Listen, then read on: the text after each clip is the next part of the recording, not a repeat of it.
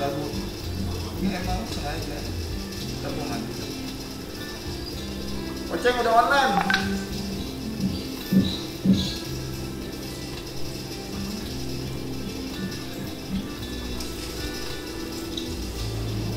Ini udah mulai. Koceng dulu kan ngomong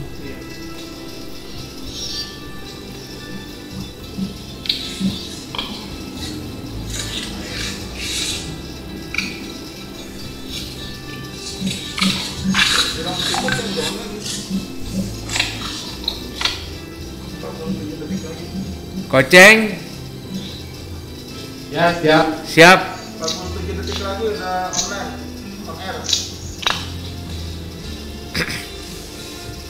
Ya, selamat pagi semuanya. kok Peserta oke mulai webinar hari ini ya. Eh, buat yang sudah online silakan menuliskan identitas kalian ya.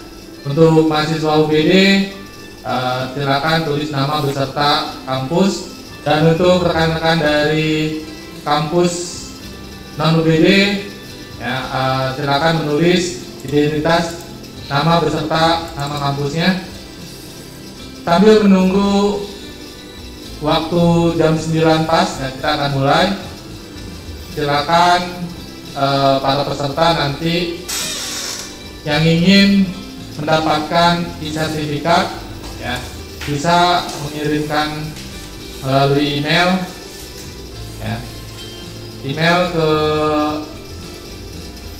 nama Hingga kampusnya bisa di nanti saya akan ketikkan di kolom nama kampus kampus mahasiswa itu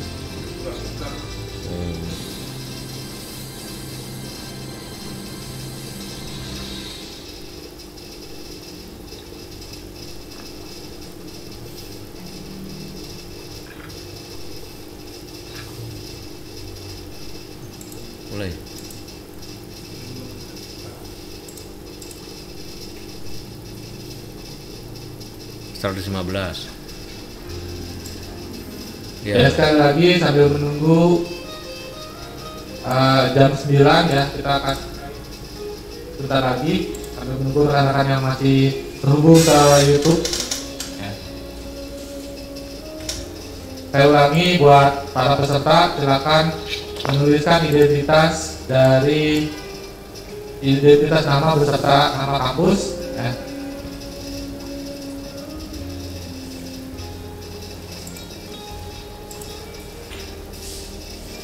Tercatat peserta per pagi ini kita 700 peserta ya. Terdiri dari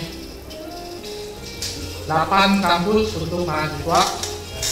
Untuk dosen banyak 90 kampus dari seluruh Indonesia Ya, terima kasih semua atas keikutsertaannya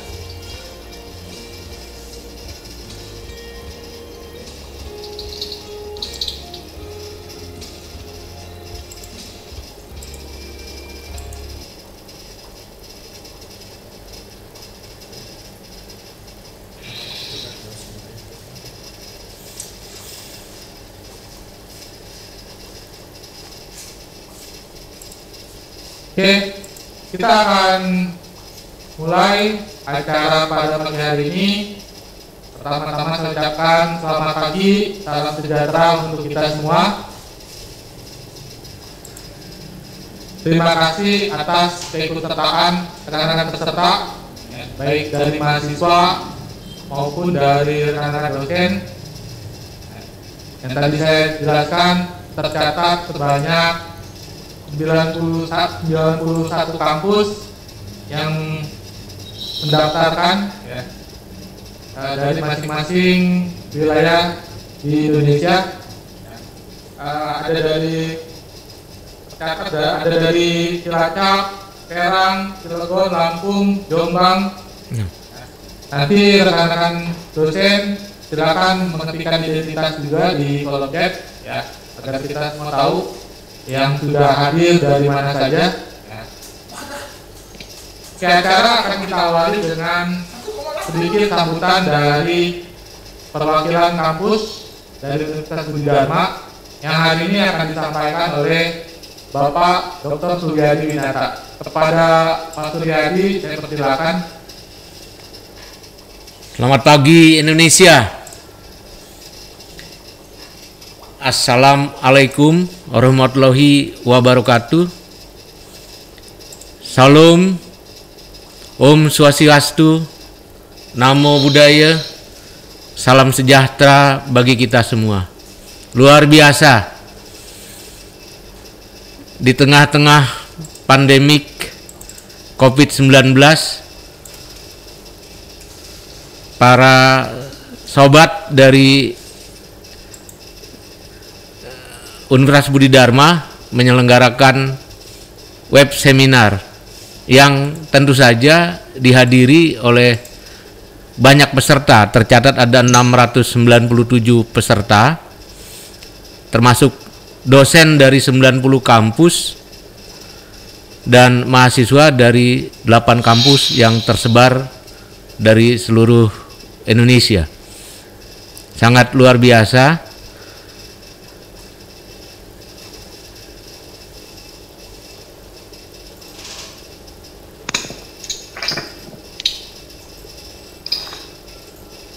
Universitas Budi Dharma ini menurut informasi dari Bapak Riki ini adalah yang pertama dilaksanakan.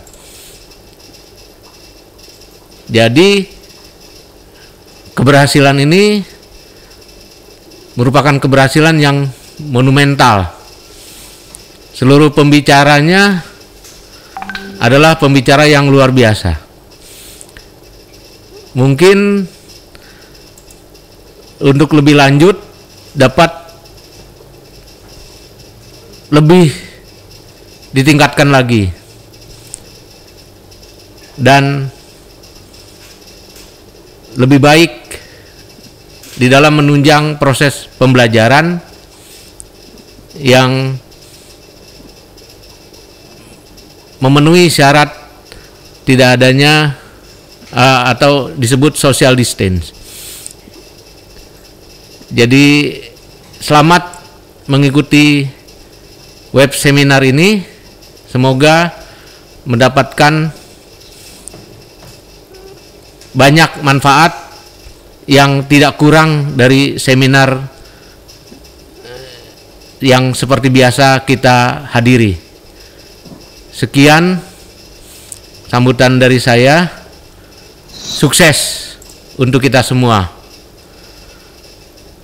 Selamat pagi Indonesia. Terima kasih. Silakan kembali lagi ke Pak Ceng. Ya, terima kasih pada Pak Sur atas sambutannya.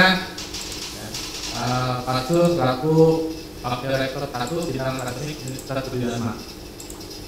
Oke, uh, saya lanjut untuk materi yang pertama. Nanti saya akan coba menjelaskan uh, mengenai hal-hal yang berhubungan dengan topik pada pagi hari ini pembelajaran e-learning di masa pandemi COVID ini. Oke, Kode, makasih kode. Ini agak nge-lag kok. bentar saya share screen.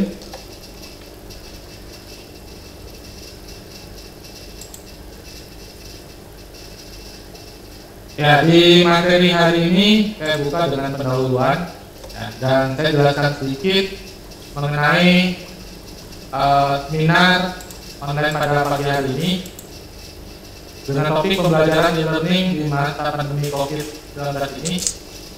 Eh, salah satunya adalah kita hari ini mensiarkan apa yang telah kita tulis. Ya, dan setelah hari ini apa yang kita sampaikan pada pagi hari ini kita akan eh, buat menjadi sa- eh, satu buku. Jadi nanti setelah buku selesai kami akan informasikan. Dan kepada rekan-rekan mahasiswa atau peserta Bapak Ibu dosen nanti yang mau bertanya eh, eh, kita akan bagi jadi tiga sesi pertanyaan ya. Nanti saya akan informasikan jika ada yang ingin bertanya.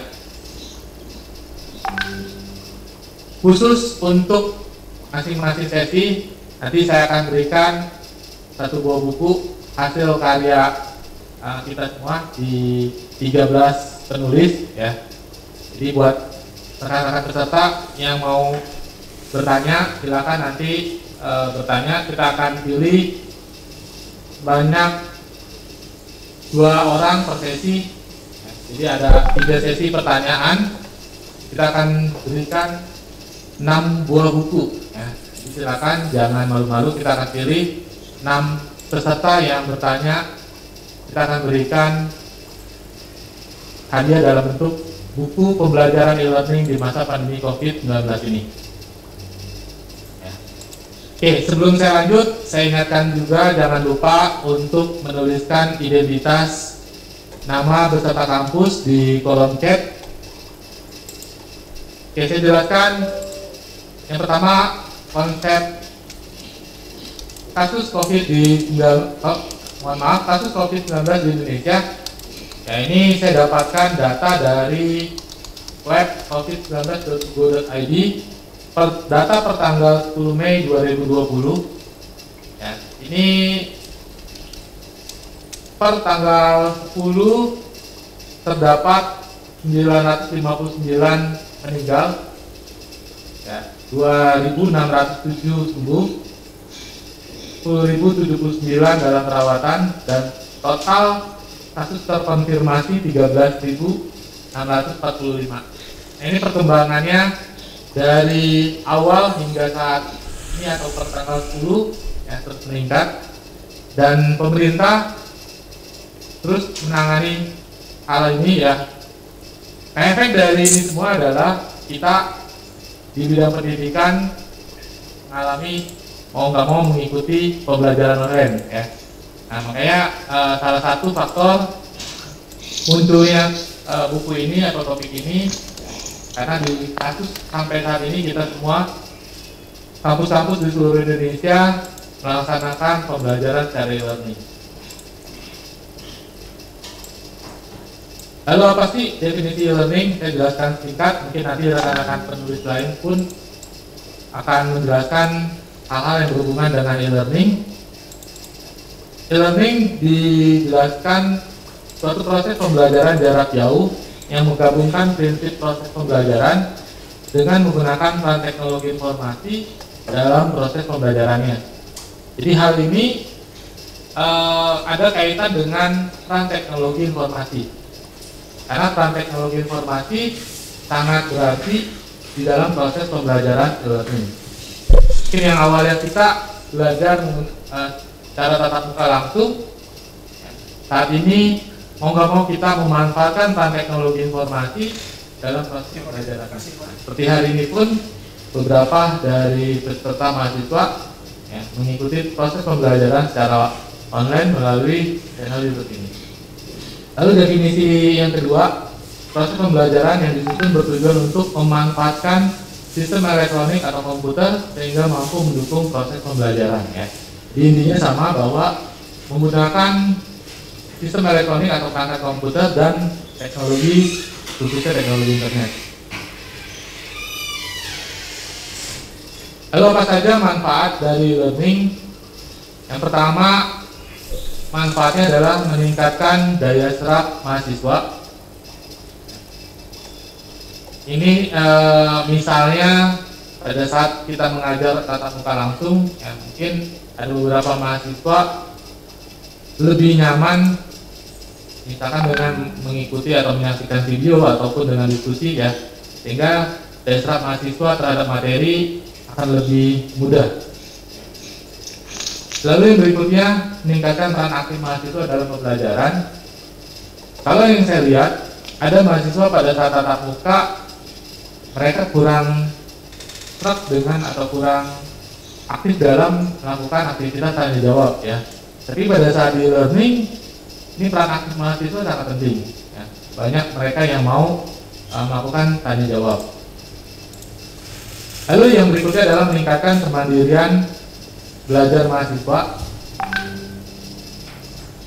pada saat belajar e-learning mau nggak mau mahasiswa harus mandiri ya jadi kalau dosen misalkan memberikan materi kalau kalau mahasiswa hanya sekedar baca dan tidak memahami ataupun tidak mempraktekannya ini akan sulit ya hanya dituntut untuk meningkatkan kemandirian si mahasiswa tersebut meningkatkan kualitas materi pendidik ya. para dosen berusaha untuk uh, memberikan materi kualitas materi ya baik itu dalam bentuk uh, chat video ataupun live ataupun menggunakan simulasi-simulasi yang ada. Nah, kita para dosen benar-benar dituntut untuk memberikan kualitas, bukan hanya sekedar menyampaikan materi-materi.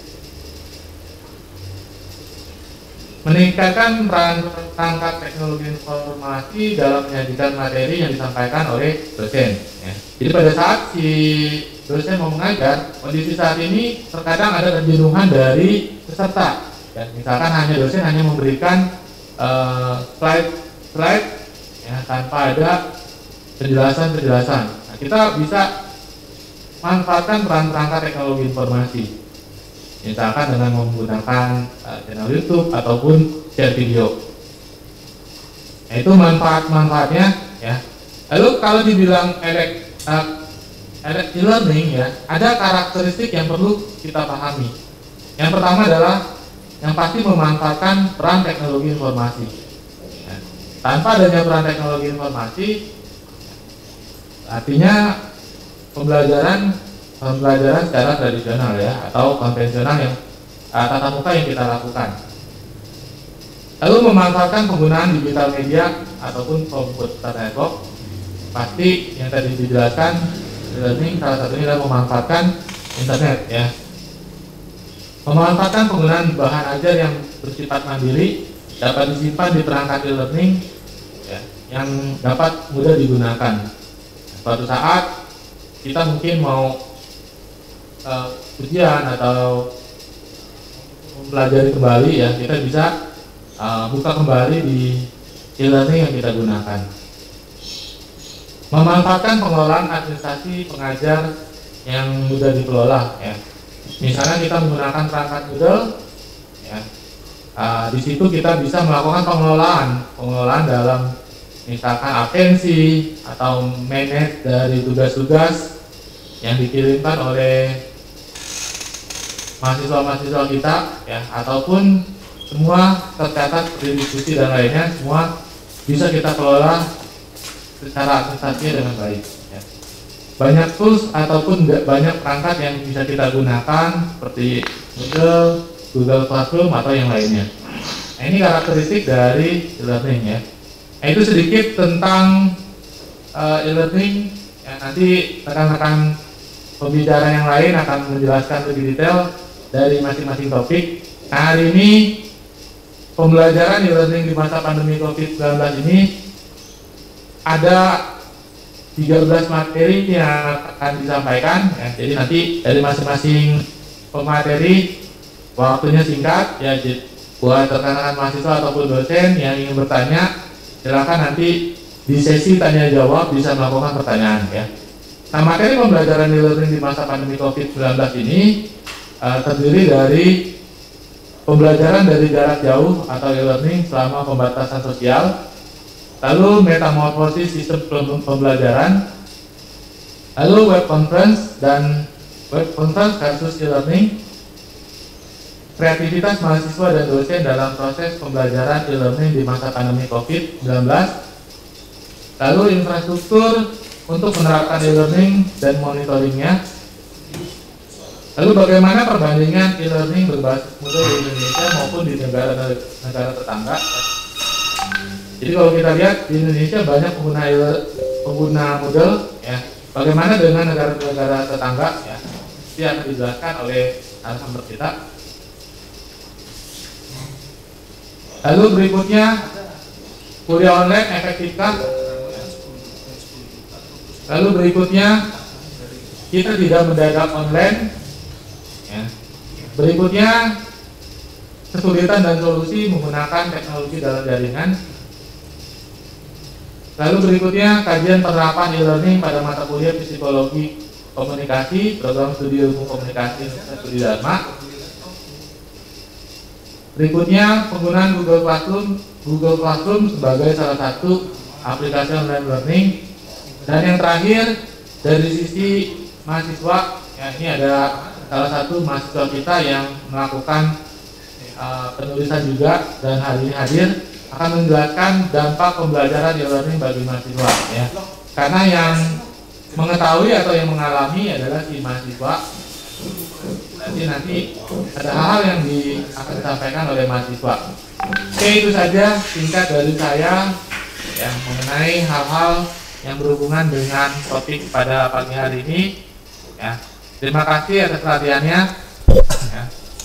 Nanti saya uh, kita akan lanjut ke pemateri-pemateri berikutnya. Ya. Jadi untuk sesi tanya jawab saya ulangi sekali lagi sesi tanya jawab uh, akan dibagi menjadi tiga. Ya. Nanti setelah sesi tanya jawab uh, dimulai, silakan buat rekan-rekan yang mau bertanya uh, dapat menuliskan di kolom chat. Ya. Oke itu yang saya bisa sampaikan dan saya akan bantu memandu uh, untuk pemateri-pemateri berikutnya. Ya. Materi yang berikutnya akan disampaikan oleh Bapak Riki. Ya. Uh, kepada Pak Riki silakan mempersiapkan materinya. Ya. Kira saya akan menjelaskan profil dari Pak Riki. Ya, Pak Riki saat ini sedang uh, kuliah S3 di University Selangor ya, di Malaysia dan beliau juga aktif di pengelolaan jurnal untuk jurnal uh, UBD, jurnal KDI dan sebagai reviewer uh, jurnal di Unpam. Oke, pada Pak Riki saya persilakan ya kepada mahasiswa boleh kasih emot applause-nya di kolom chat. Ya, Pak Riki silakan Pak Riki. Ya, makasih ya Pak Cenggep ya. Selamat pagi semuanya ya, Bapak Ibu sekalian dan eh, rekan-rekan uh, mahasiswa ya. Baik itu dari Universitas Budi Dharma ataupun dari kampus lain ya. Ada ada 10 ya. 10 atau lebih dari 10 mahasiswa. Lebih ya, Pak Ceng ya. Dari kampusnya tercatat sebanyak 8 kampus untuk mahasiswa. Oh, 8 kampus ya. Nah, eh, kali ini kita saya akan berbagi ya terkait pengalaman ya pembelajaran jarak jauh selama pembatasan sosial. Jadi kita ternyata dipaksa untuk di online kan ya. Ini ini dipaksa bukan kelas online sebenarnya karena kita dipaksa untuk online latar belakang ya yang yang saya ambil ya yang saya lihat ya. Ini nggak tahu ya ini ini udah prediksinya dari Pak Menteri atau enggak? Karena ada kebijakan kampus merdeka ya kalau kita lihat di sini. Semua uh, apa baik itu perekonomian pendidikan ataupun industri semua punya dampak dari uh, pandemik ini ya. Jadi ada ada kebijakan kampus uh, merdeka ya. Ada empat yang dicanangkan oleh Pak Menteri. Ini ini uh, apa namanya uh, apa kebijakan dari pendidikan ya. Nah, bentar saya edit dulu ya. Edit. Nah. Oke, okay, karena waktunya sedikit ya, jadi kita agak cepat. Nah, ini visualisasi yang yang didapatkan dari uh, tweet ya, Twitter, data Twitter ya, berdasarkan teks yang diambil uh, trendingnya ada keluhan kelas online sebenarnya bukan kelas online ya yang saya pikirkan ya tetapi adalah kelas yang di online kan ya sebanyak 47% itu yang bilang adalah keluh mahasiswa tugas. Nah ini ya karena ketidaksiapan kita sebagai uh, tenaga pendidik. Jadi rata-rata dosen itu memberikan tugas melalui uh, media apa media komunikasi ya bisa WhatsApp ataupun Telegram ataupun lain sebagainya. Nah terus uh, eh, 13% itu rata-rata dosen ya yang mengeluh ya keluhannya banyak ya terkait kuota itu juga masuk katanya juga mahasiswa tidur kurang kampus juga banyak yang bilang hmm, tidak ada apa uh, subsidi dan lain sebagainya ini keluhan lah ya. Terus ada yang bilang juga enak ya kelas online itu. Ya bilangnya 5% terus nilai nilainya juga katanya uh, apa uh, hancur semuanya. Karena nggak ngerti dikasih tugas nggak ada penjelasan dan lain sebagainya. Materi ya materi itu 4% uang uang yang menyatakan uh, boros katanya kelas online ini kelas di online kan ini ya terus uh, katanya juga ada jelas ya. Ini jelas dalam arti uh, bukan bentuk keluhan sebenarnya tapi penyampaian dari dosen ya oke kita uh, next lagi ya. Nah uh, yang jadi pertanyaan dasar adalah apakah perguruan tinggi ini siap untuk transisi transisi mendadak ini ya? Jadi saya saya berdasarkan uh, data yang saya lihat di lapangan ya yang yang mungkin ya kita bisa sharing nanti di sini ya. Yang saya rasakan ya jawabannya adalah enggak tidak ya. Ya karena organisasi kita ya beberapa perguruan tinggi bukan beberapa ya tetapi hampir semua perguruan tinggi enggak diatur untuk yang namanya kelas online atau dengan kondisi sekarang ya kelasnya di online kan hanya uh, apa program studi yang sudah mendapatkan izin dari Dikti yaitu uh, kalau nggak salah pendidikan jarak jauh ya PJJ yang dikenal oleh kita itu juga hanya beberapa program studi kecuali uh, mungkin universitas terbuka ya yang sudah siap menghadapi ini. Nah, bagaimana dengan perguruan-perguruan tinggi kita? Ya ini ya kita ini nggak diatur diaturnya adalah kita membiasakan tatap muka ya. Oke. Nah eh, ini ini ini ilustrasi beberapa beberapa apa namanya eh, pendidikan atau pembelajaran online dengan menggunakan eh, Moodle ya. Ini bisa bisa di, digunakan. Selain itu juga ada ada Google kelas jikalau uh, perguruan tinggi kitanya belum siap untuk infrastruktur teknologi ya. Ini modal bisa untuk perguruan tinggi yang memiliki infrastruktur. Sedangkan yang saya lihat beberapa sekolah tinggi itu uh, tidak memiliki infrastruktur. Oh. ya bentar ya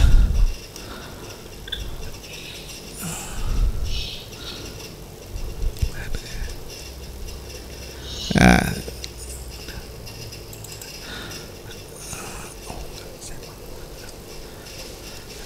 jadi jadi tidak tidak memiliki infrastruktur ya di dalam uh, uh, apa namanya perguruan tinggi. Jadi dia kalau yang nggak punya memiliki infrastruktur berarti bisa uh, menggunakan media Google Classroom atau mungkin yang lain ya banyak ya uh, ini salah satu ilustrasi yang uh, saya sharing ya di di apa perguruan tinggi kita ya khususnya di Universitas Budi Dharma.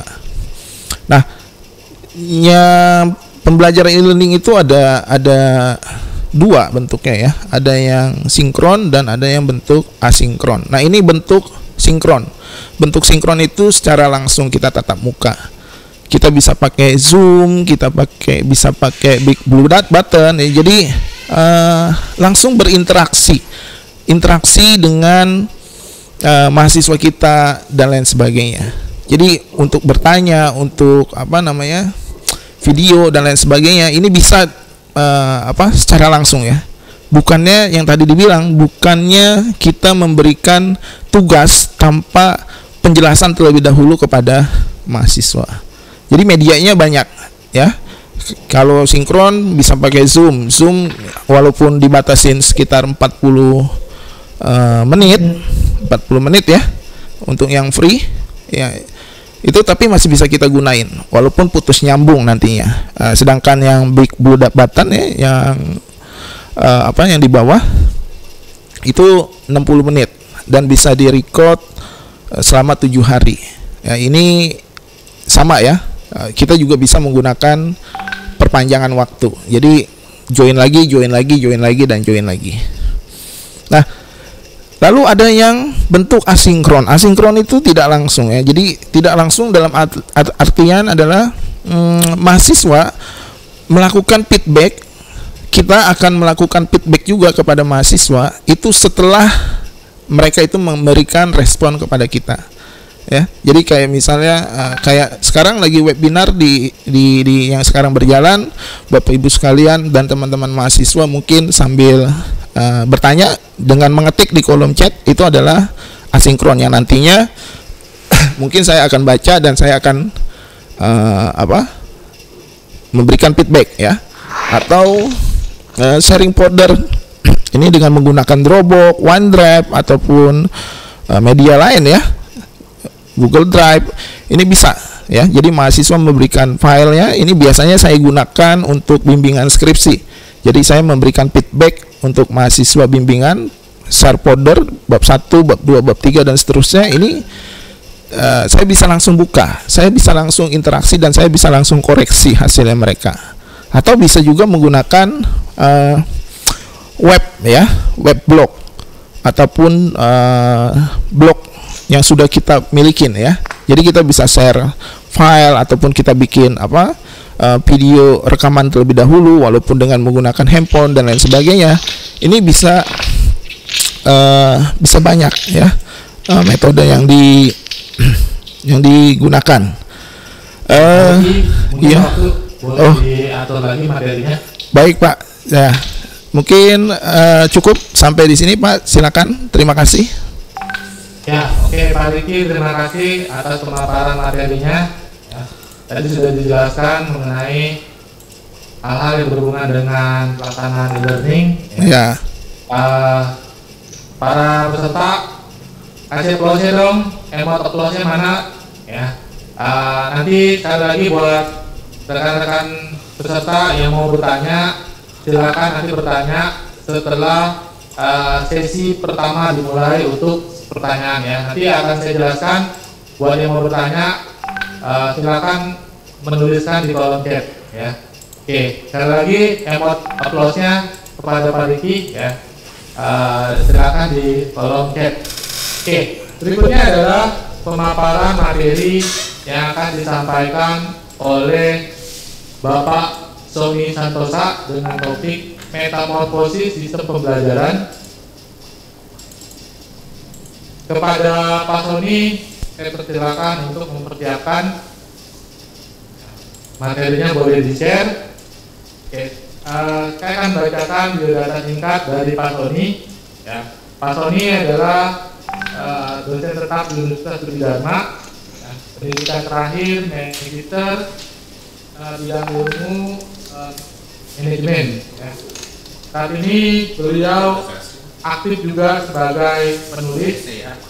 Ini tercatat eh, pernah juara satu lomba untuk eh, menulis, ya, menulis artikel dan karya bukunya juga sudah ada beberapa ya.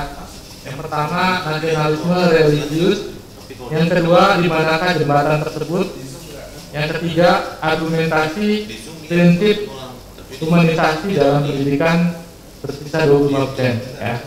Oke ini eh, dari Pak Tony dipersilakan untuk mempresentasikan hasil dari tulisannya. Oke, pada peserta silakan eh, berikan applause, emot applause di kolom chat. Oke, terima kasih. Mas Tony silakan Mas Tony. Baik, terima kasih kepada Bapak Cenggiat. Selamat pagi,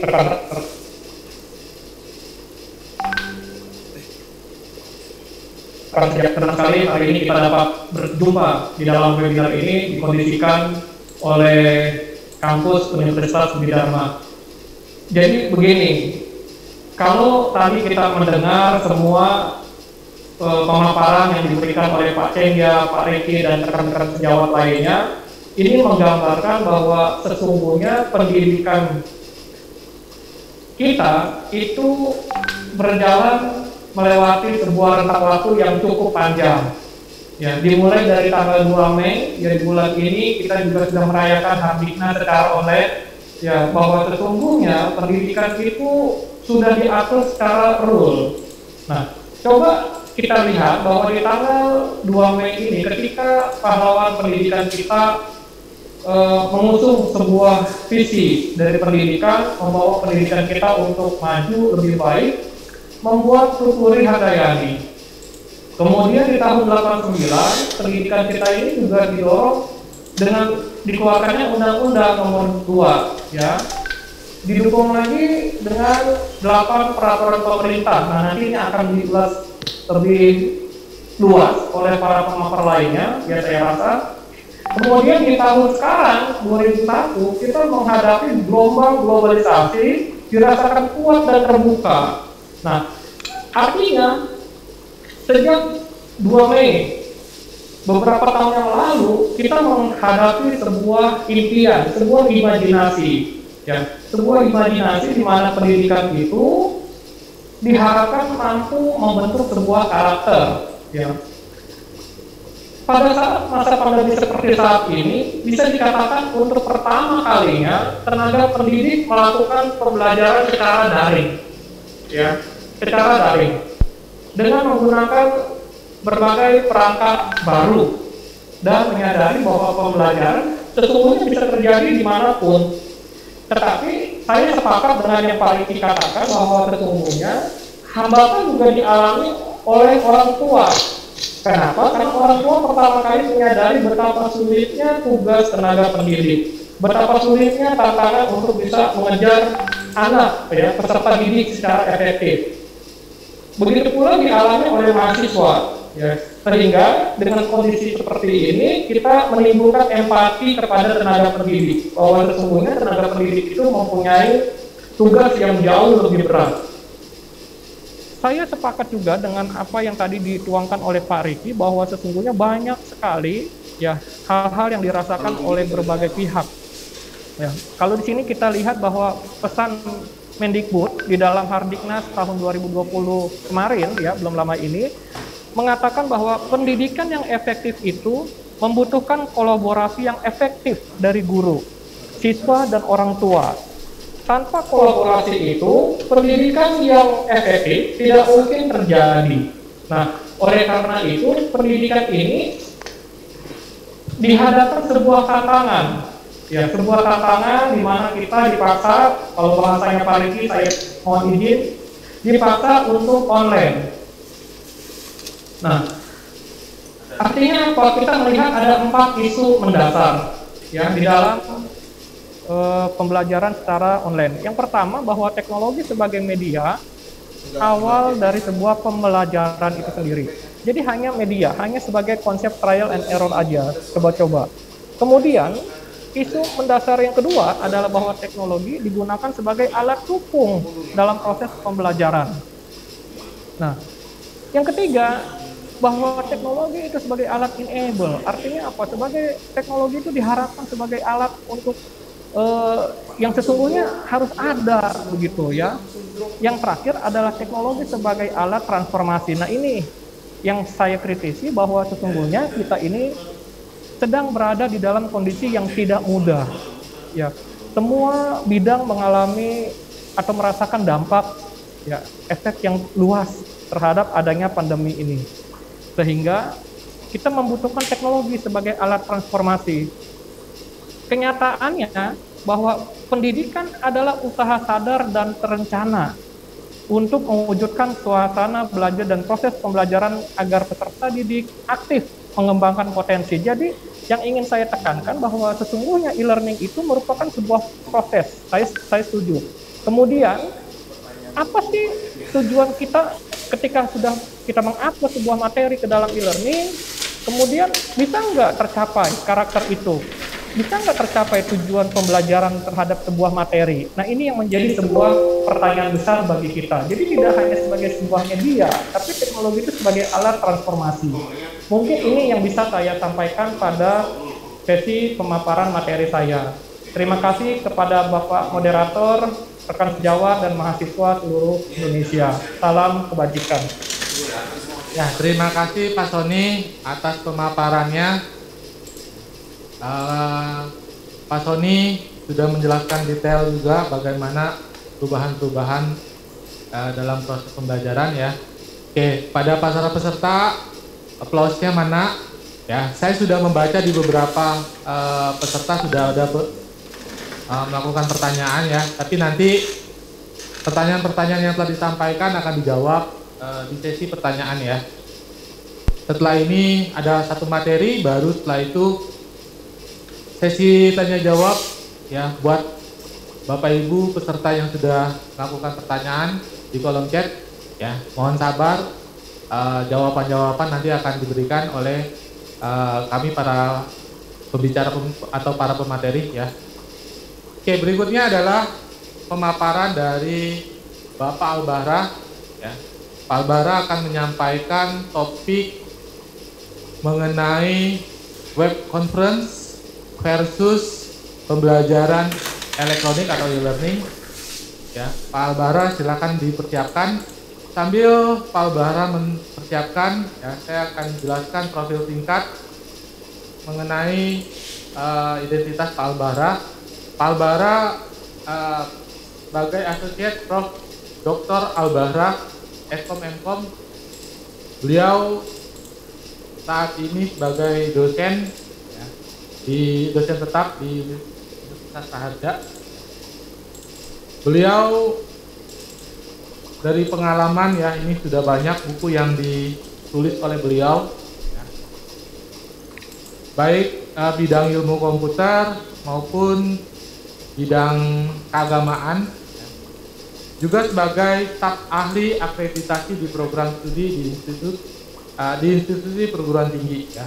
Pada Pak Albara saya persilakan menyampaikan materi ya pada para peserta diberi uh, mohon aplaus untuk Pak Albara. Silakan Pak Albara.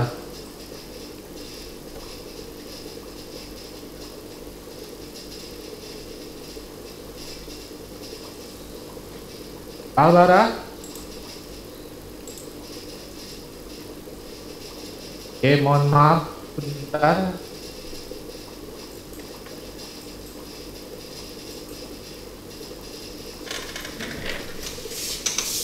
Pak Albara, suaranya Pak Albara, mohon maaf.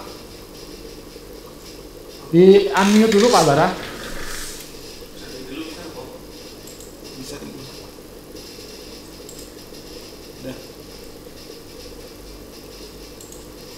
Halo. Pak Albara, Ya, halo, tes. duduknya di unmute. Oke Pak Albara, suaranya sudah. Sah. Oke silakan untuk menyampaikan materi. Ya, jadi eh, selamat pagi peserta kalian, peserta seminar. Pada kesempatan ini saya akan menjelaskan tentang satu poin yang pada dasarnya menjadi topik bahasan atau bahas- bahan pembicaraan masyarakat umum karena dalam kondisi pandemi ini seluruh lembaga pendidikan dipaksa untuk di rumah sehingga muncullah pembelajaran online. Nah, karena dadakan tersebut dan juga ada sebahagian mereka yang tidak memahami ya yang namanya konsep pembelajaran e-learning, maka begitu beralih posisi belajar di rumah, ada yang menggunakan perangkat teknologi Zoom, ada yang menggunakan eh, Google Classroom dan lain sebagainya. Malah, maka sebagian ada yang mengatakan kita sudah eh, melakukan pembelajaran online. Seakan se- sangat mudahnya pembelajaran online atau pembelajaran jarak jauh itu eh, terjadi dengan dadakan sudah terjadi pembelajaran e-learning. Karena itu eh, pada tulisan ini saya ingin menjelaskan apa perbedaan dari web conference atau perang, menggunakan perangkat teknologi hari ini yang ada dalam rangka eh, masa dalam eh, masa pandemik ini dengan konsep pembelajaran online yang sebenarnya yang pada dasarnya pembelajaran online tidak bisa eh, tidak bisa disamakan 100% dengan pembelajaran e-learning atau web conference tidak bisa sama dengan e-learning. Kenapa demikian? E, pertama kalau bicara pembelajaran e-learning pun pembelajaran e-learning kalau sesuai dengan definisi bahwa pembelajaran elektronik atau e-learning itu merupakan perangkat instruksi yang disampaikan melalui perangkat digital dengan tujuan mendukung proses pembelajaran e-learning. Jadi ada ada dua kata kunci memanfaatkan perangkat digital lalu mendukung proses pembelajaran. Nah, yang dadak yang hari ini sebagian terjadi adalah uh, pembelajaran e-learning itu kalau sebagian besar sebagian perguruan tinggi hampir uh, sebagian perguruan tinggi yang uh, baru menggunakan e-learning mayoritas mereka lebih mengetengahkan penggunaan perangkat teknologi yang uh, begitu up to date. Nah, dari bisa bisa saja dari dari sini ada dari Moodle, Google Classroom, Edmodo dan lain sebagainya. Lalu eh, yang ingin saya analisis dalam isu tersebut ada pertanyaan apakah aplikasi e-learning yang sudah sangat up to date tersebut sudah masuk dalam kategori pembelajaran e-learning.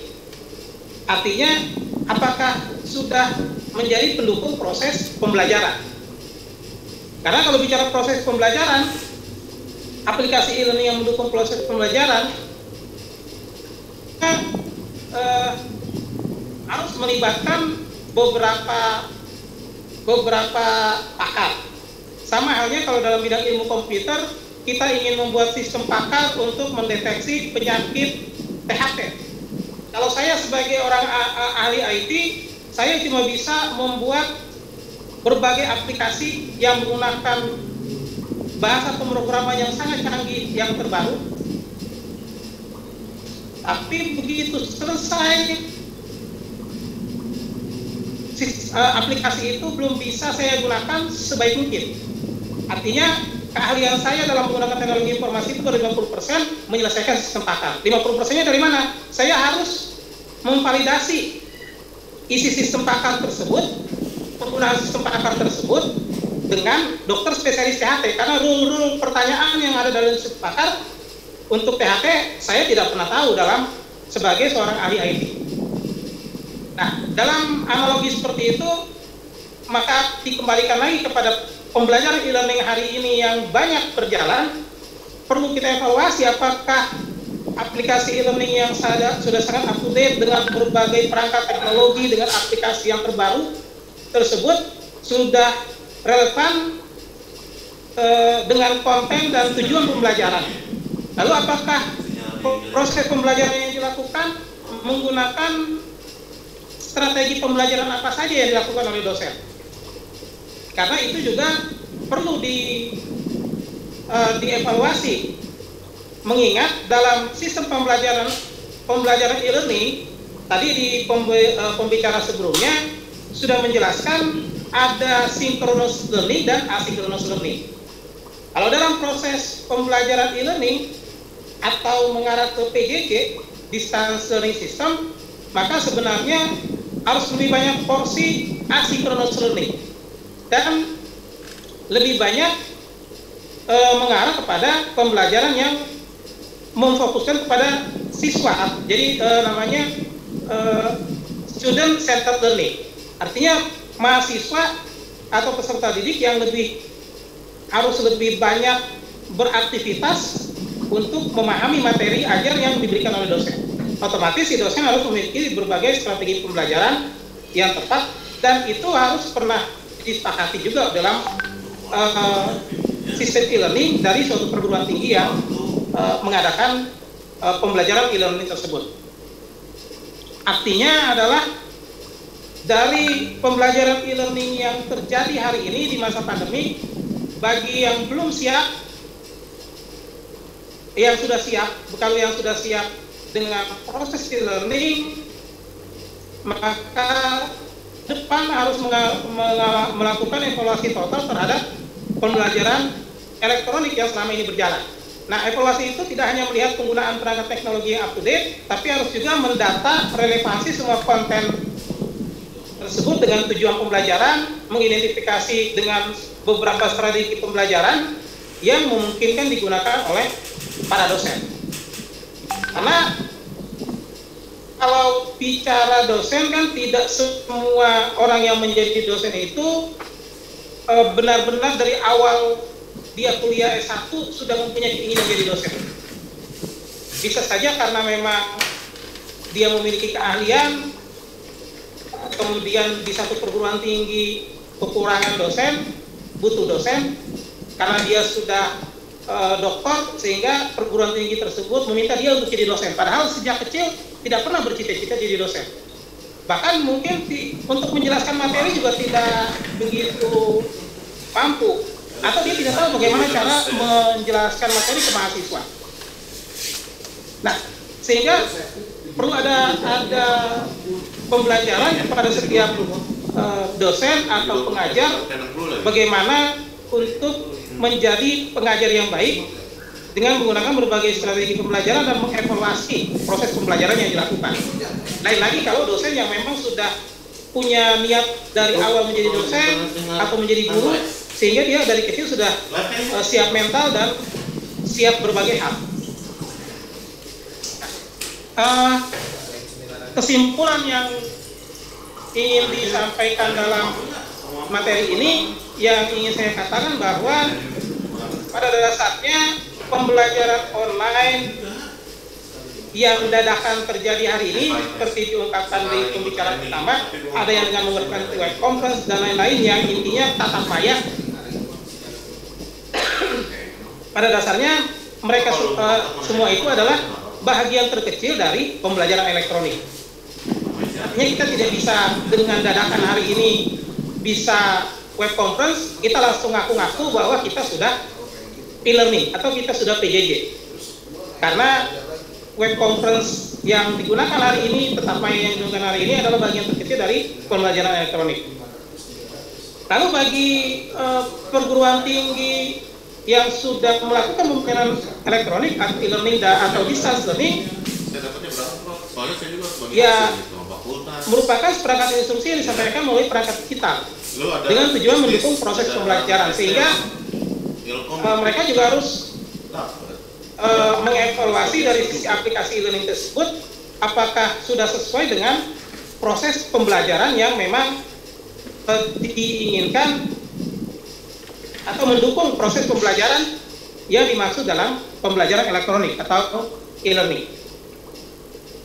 Mungkin karena ini e, bersifat transparansi yang singkat, materi rincinya nanti uh, para peserta sekalian bisa dapatkan dalam uh, uraian uraiannya dalam buku yang akan diterbitkan oleh Universitas Budi Dharma yang akan menjelaskan eh, hal-hal uh, lebih rinci tentang uh, apa itu pembelajaran online dengan web conference dan pembelajaran elektronik yang saya maksud.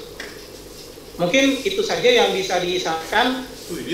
Terima kasih atas perhatiannya. Selamat pagi. Oke, terima kasih Pak Albara atas penjelasannya ya. Para peserta silakan berikan applause, emot applause kepada Pak Albara yang telah menyampaikan materinya. Nah, sesi hari, sesi berikutnya adalah sesi tanya jawab ya. Tapi ini di kolom chat saya sudah mencatat beberapa pertanyaan yang disampaikan oleh para peserta ya.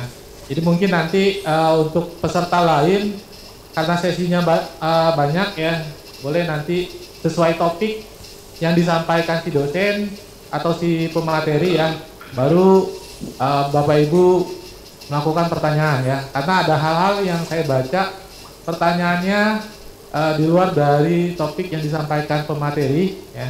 Jadi sebisa mungkin sesuai dengan pemateri ya nanti kita apa yang bapak ibu telah uh, ajukan pertanyaan di kolom chat, kita akan jawab sesuai dengan tiga pemateri pertama, ya, yaitu Pak Riki, Pak Tony, dan Pak Albara. Oke, Eh, saya ada catat mungkin yang pertama dari sisi Pak Riki. Pak Riki boleh eh, terhubung sebentar ya. Boleh, boleh. Ada yang tanya, tadi ada penjelasan bagaimana mengatasi keluhan-keluhan kelas online yang tadi Pak Riki sebutkan. Oh, dari Budi Suryawati. Budi Suryawati ya, tadi bertanya keluhan kelas di online Nah, keluhan, keluhan ya. Kalau sudah terjadi seperti ini ya kita harus menjalani sebenarnya. Karena memang yang tadi di awal eh, saya jelasin adalah siap nggak? Ya karena kita nggak siap. Itu tadi jawabannya. Karena kita nggak siap. Semua serba eh, dadakan. Apalagi yang tadi dibilang ya banyak perguruan tinggi eh, ini nggak modelnya bukannya untuk kelas pendidikan jarak jauh tetapi emang biasanya kelas tatap muka jadi eh, buat modelin keluhan kalau yang saya lihat di berita ya ada beberapa perguruan tinggi yang mengambil langkah eh, terkait masalah eh, potongan uang kuliah dan lain sebagainya yaitu kebijakan dari eh, kampusnya masing-masing. Jadi itu salah satunya ya eh, apa kebijakan yang diambil dari eh, apa perguruan tingginya. Kalau keluhan yang lain ya terkait masalah eh, apa pulsa ya biaya uh, itu banyak yang apa banyak yang beralih ke paket data uh, apa rumahan provider ya ya karena mereka bisa lebih murah tetapi karena karena ada beberapa dampak bukan di pendidikan aja karena ada di dampak di terkait masalah industri banyak uh, yang terjadi adalah orang tua itu atau kita yang bekerja mahasiswa yang bekerja kena terasa dampaknya terkait masalah penghasilannya mereka. Nah ini juga uh, apa namanya susah ya untuk untuk dibilang gimana caranya keluhan yang di kelas di online itu akan terjadi. Tapi intinya adalah kita harus uh, membiasakan diri terkait masalah kebijakan yang dibawa oleh perguruan tinggi karena ini juga demi uh, kebaikan kita semua. Ya, Mungkin, mungkin itu ini aja. juga Pak Riki ada kaitannya nih, ada pertanyaan mengenai bagaimana jika e-learning tidak dapat dipergunakan semaksimal, semaksimal mungkin. Misalnya kita masuk ke akses e-learning dan bagaimana agar mahasiswa dapat mengerti materi tersebut. Nah, Oh. Terkadang dosen eh, tanpa memberikan penjelasan atau berikan tugas ataupun eh, hanya memberikan slide-slide saja tanpa ada penjelasan. Kira-kira bagaimana Pak Riki? Ah ini ya, ini ini tadi juga eh, saya udah catat ya beberapa ya. Kalau nggak salah dari Anita ya. Intinya adalah Anita Oktaviani kalau nggak salah itu. Infrastruktur dan pelatihan. Ya. Karena habitnya kita yang tadi dibilang selalu eh, saya balikin lagi, habitnya kita adalah ketidaksiapan, dadakan. Ini di onlinein secara mendadak. Ya. Kalau kalau eh, bukannya cuman untuk mahasiswa ya, tapi juga eh, beberapa dosen eh, rekan-rekan sekalian juga sama ya. Eh, mereka kurang eh, memahami terkait penggunaan kebijakan yang diturunkan oleh eh, apa perguruan tinggi ya untuk penggunaan e-learning karena biasanya mereka lebih enak mengajar dengan eh, apa tatap muka secara langsung ini dengan menggunakan eh, teknologi ya jadi buat menjadi efektif adalah kita harus sama-sama terima sama-sama apa namanya eh, menerima seutuhnya ya terkait penggunaan e-learning ya framework e-learning ya untuk kebersamaan. Jadi kalau dibilang eh, ya intinya kita balikin lagi adalah keterimaan terhadap individual. Kalau saya secara priba- pribadi ya pasti eh, akan terima ya, tetapi ada beberapa juga yang eh, tidak bisa menerima. Karena ada ada pertanyaan ini akan disangkut pautinnya ke Pak Ita Burhan lagi tuh. Lah eh, tatap muka aja mahasiswa nggak ngerti gimana kalau di onlinein nambah nggak ngerti jadinya. Ya iya benar benar benar itu berdasarkan pengalaman. Tetapi ada metode-metode lain yang bisa kita gunakan. Misalnya kalau misalnya praktek ya. Kalau praktek kita bisa buat video tutorial. Ya. Kita upload ke YouTube mereka mahasiswa ya itu menonton bisa di eh, apa diulang-ulang kembali. Nah, enaknya dengan menggunakan itu adalah seperti itu. Kayak kayak Ini na- ada kaitan ke pertanyaan ke Pak Riki. ya. Ya Pak Riki ini ada kaitan pertanyaan ke ya eh, peserta eh, peserta menanyakan bagaimana cara menjelaskan ke mahasiswa untuk mata kuliah menggunakan kurva, ya misalnya struktur eh, pasar persaingan sempurna dengan kurva. Nah, ini ada kaitannya ya Pak Riki ya? Iya, Kata ya itu video ya ke Pak Ita Burhan ya itu ada kaitannya. Jadi ya itu tadi Kita kita lanjut Pak Riki. Ya, jadi kita intinya adalah eh, apa namanya? membuat tutorial ya. Kalau misalnya Pak kalau kalau yang terkait software sih gampang ya kayak bikin SPSS. Jadi kita tinggal bikin video tutorialnya aja. Nah, masalahnya kalau kita bikin ke teknik mesin atau yang berhubungan dengan elektro praktek ya gimana tuh caranya sedangkan kita nggak punya peralatannya untuk bikin video tutorial nah itu yang baru akan menjadi sebuah kendala kecuali ya eh, kita sebagai dosen harus datang ke kampus terus eh, merekam ya apa yang sedang kita gunakan. Ya baik itu ya yang simpel aja yang sederhana. Kita pakai kamera handphone kita rekam kegiatan kita kita share ke mahasiswa supaya itu bisa diulang kembali. Mungkin mungkin itu ya sebagai salah satu alternatif. Itu yang terjadi di eh, ruang guru yang sekarang lagi populer dan lagi naik daun ya. Metode pengajaran yang mereka itu interaktif Ya, mungkin itu aja Pak Ceng yang bisa disampaikan silakan Oke ya terima kasih Pak Riki. Mungkin ada lagi nih eh, dari Oh, Pak banyak Bara ya. atau Pak Sony atau Pak Riki yang mau mau menjawab. Ini ada pertanyaan bagaimana cara untuk meningkatkan keaktifan dalam berinteraksi dalam e-learning. Oke kepada Pak Albara, Pak Riki ataupun Pak Sony mungkin uh, materinya tadi ada yang cocok. Silakan siapa yang mau bantu jawab? Ya, baik. Terima kasih Pak Ceng Giap. Ya, saya akan coba menanggapi ya. Memang yang harus kita pahami di awal bahwa kita saat ini sedang dihadapi oleh kondisi yang tidak mudah. Berbagai aspek, berbagai bidang telah dikaji sedemikian rupa oleh pihak pemerintah pusat kita untuk me- memberikan sebuah choice. Ya memang kenyataannya choice yang kita terima atau hadapi adalah sama-sama pilihannya buruk memang. Keputusan pilihan pertama buruk, pilihan kedua buruk. Sebagai contoh begini, kalau kita melihat di surat edaran Permendikbud nomor 4 tahun 2020, di sana di surat edaran itu kita mendapatkan bahwa sesungguhnya pembelajaran e-learning ini di, di, disarankan oleh pemerintah, ya, sehingga dengan adanya surat edaran Permendikbud ini, ini diharapkan mampu menjawab keluh kesah. Ya, meskipun tidak memuaskan semua pihak.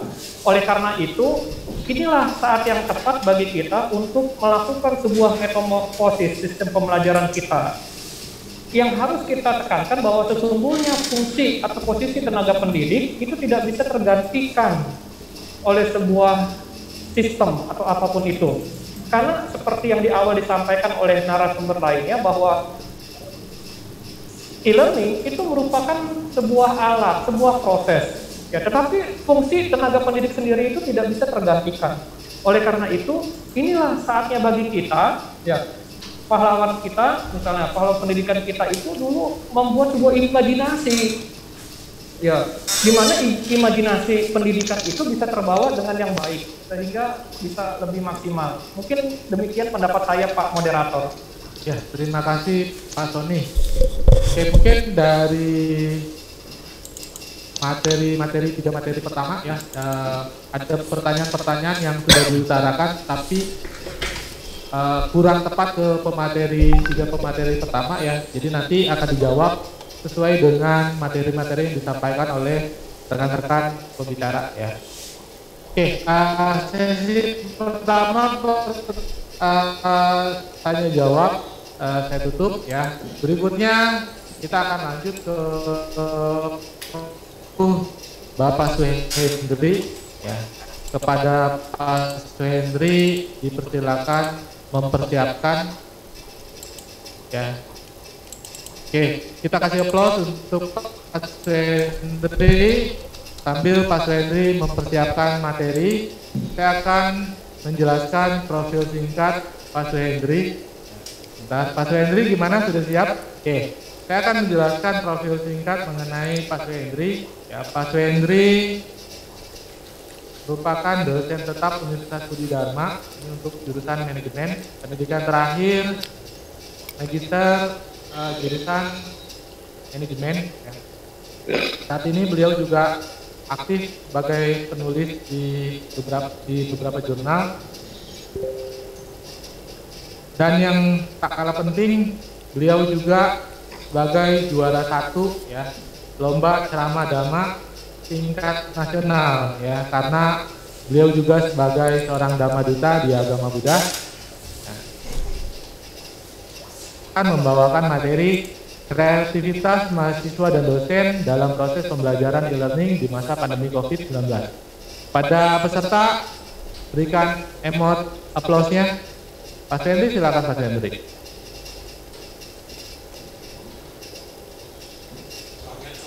Mohon maaf di mute, di unmute dulu. Sebentar.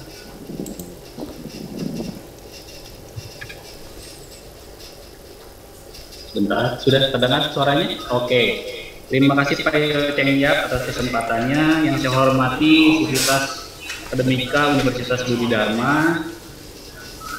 Lalu Bapak Ibu pembicara webinar pembelajaran e-learning di masa pandemi, juga para ibu bapak dosen dan juga bapak ibu yang berada di mana pun seluruh Indonesia, serta para mahasiswa, para mahasiswa saya yang hari ini menyaksikan acara ini. Selamat pagi, kita semangat, salam luar biasa. Bapak Ibu saudara-saudari, hari ini saya uh, bersyukur karena apa bisa bersama-sama belajar bersama-sama dengan Bapak Ibu semua. Hari ini saya lihat chat yang masuk itu banyak sekali dan juga bukan hanya dari Universitas Budi Dharma tapi juga dari uh, seluruh Indonesia. Tadi saya sempat cek ada dari Enrekang, ya, dari Enrekang dan juga ada dari uh, beberapa kampus yang uh, bersama-sama menyaksikan siaran pada pagi hari ini.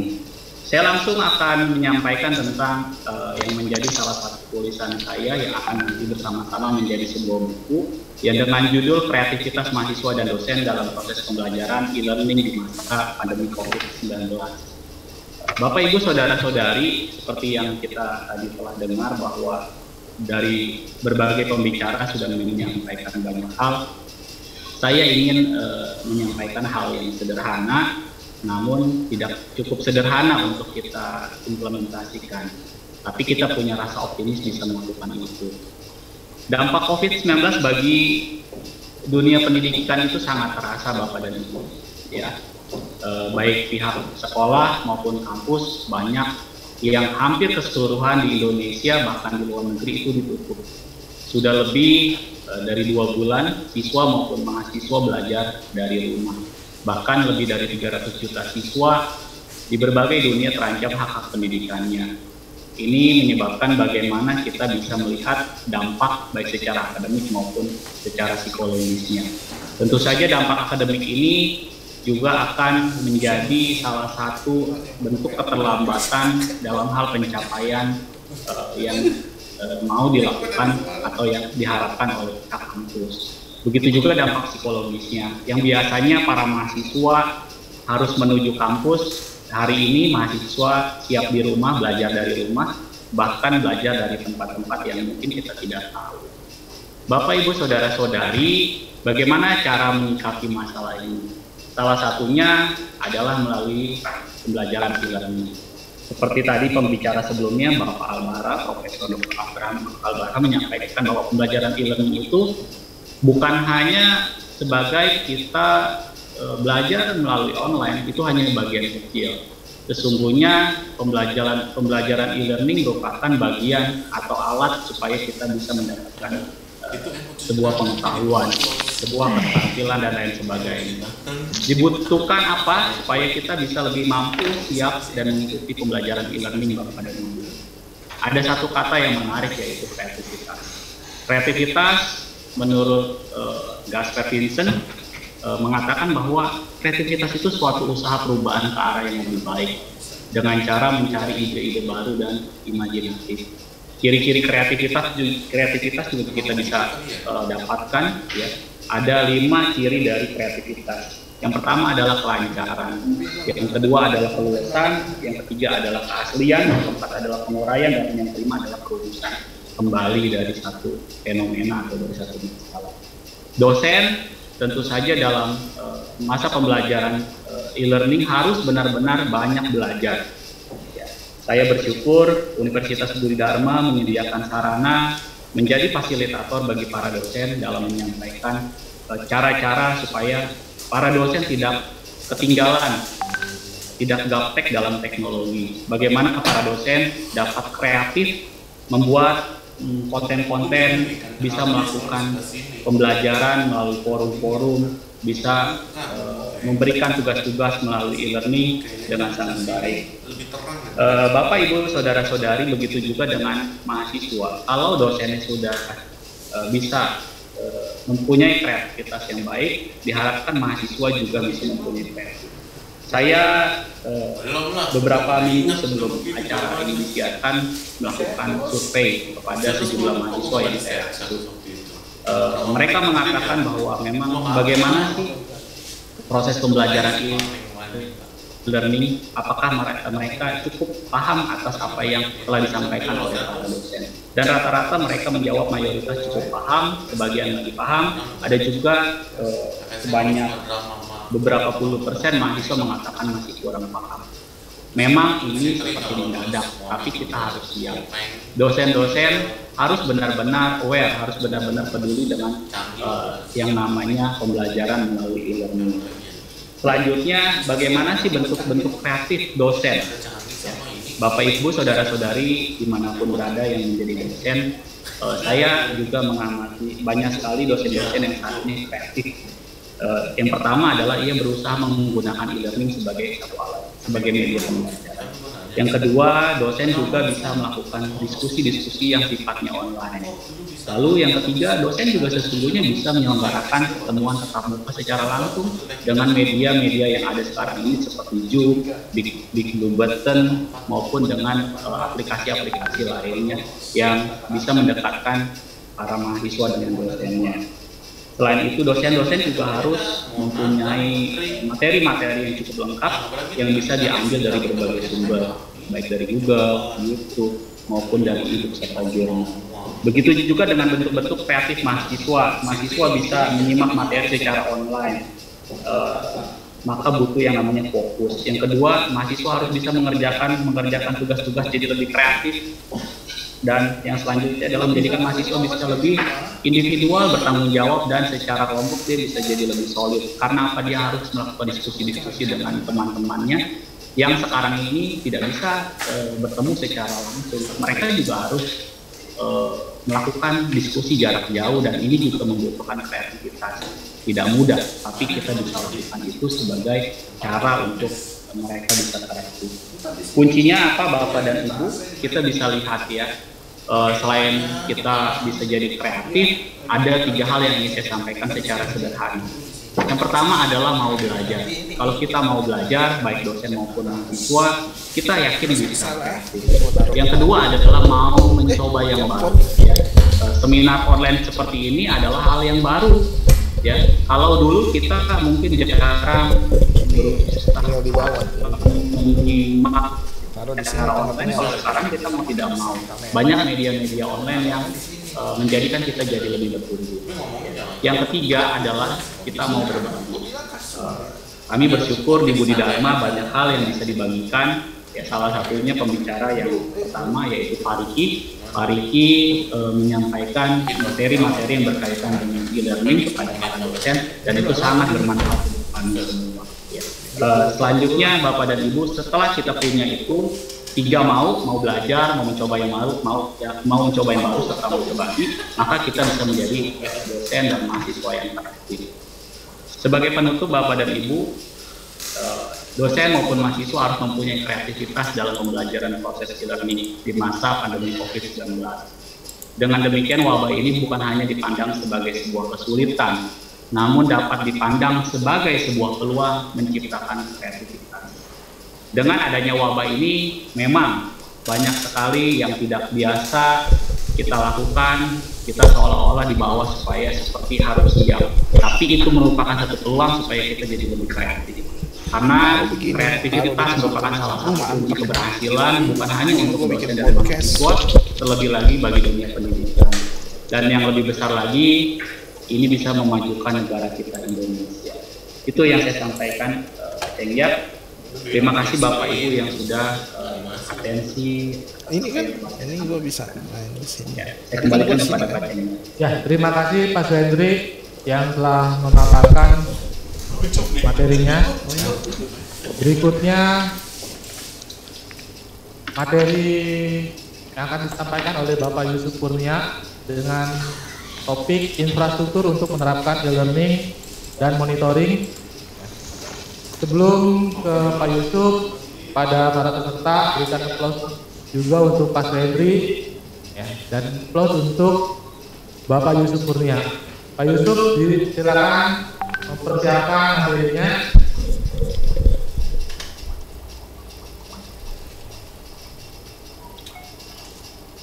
Pak Yusuf.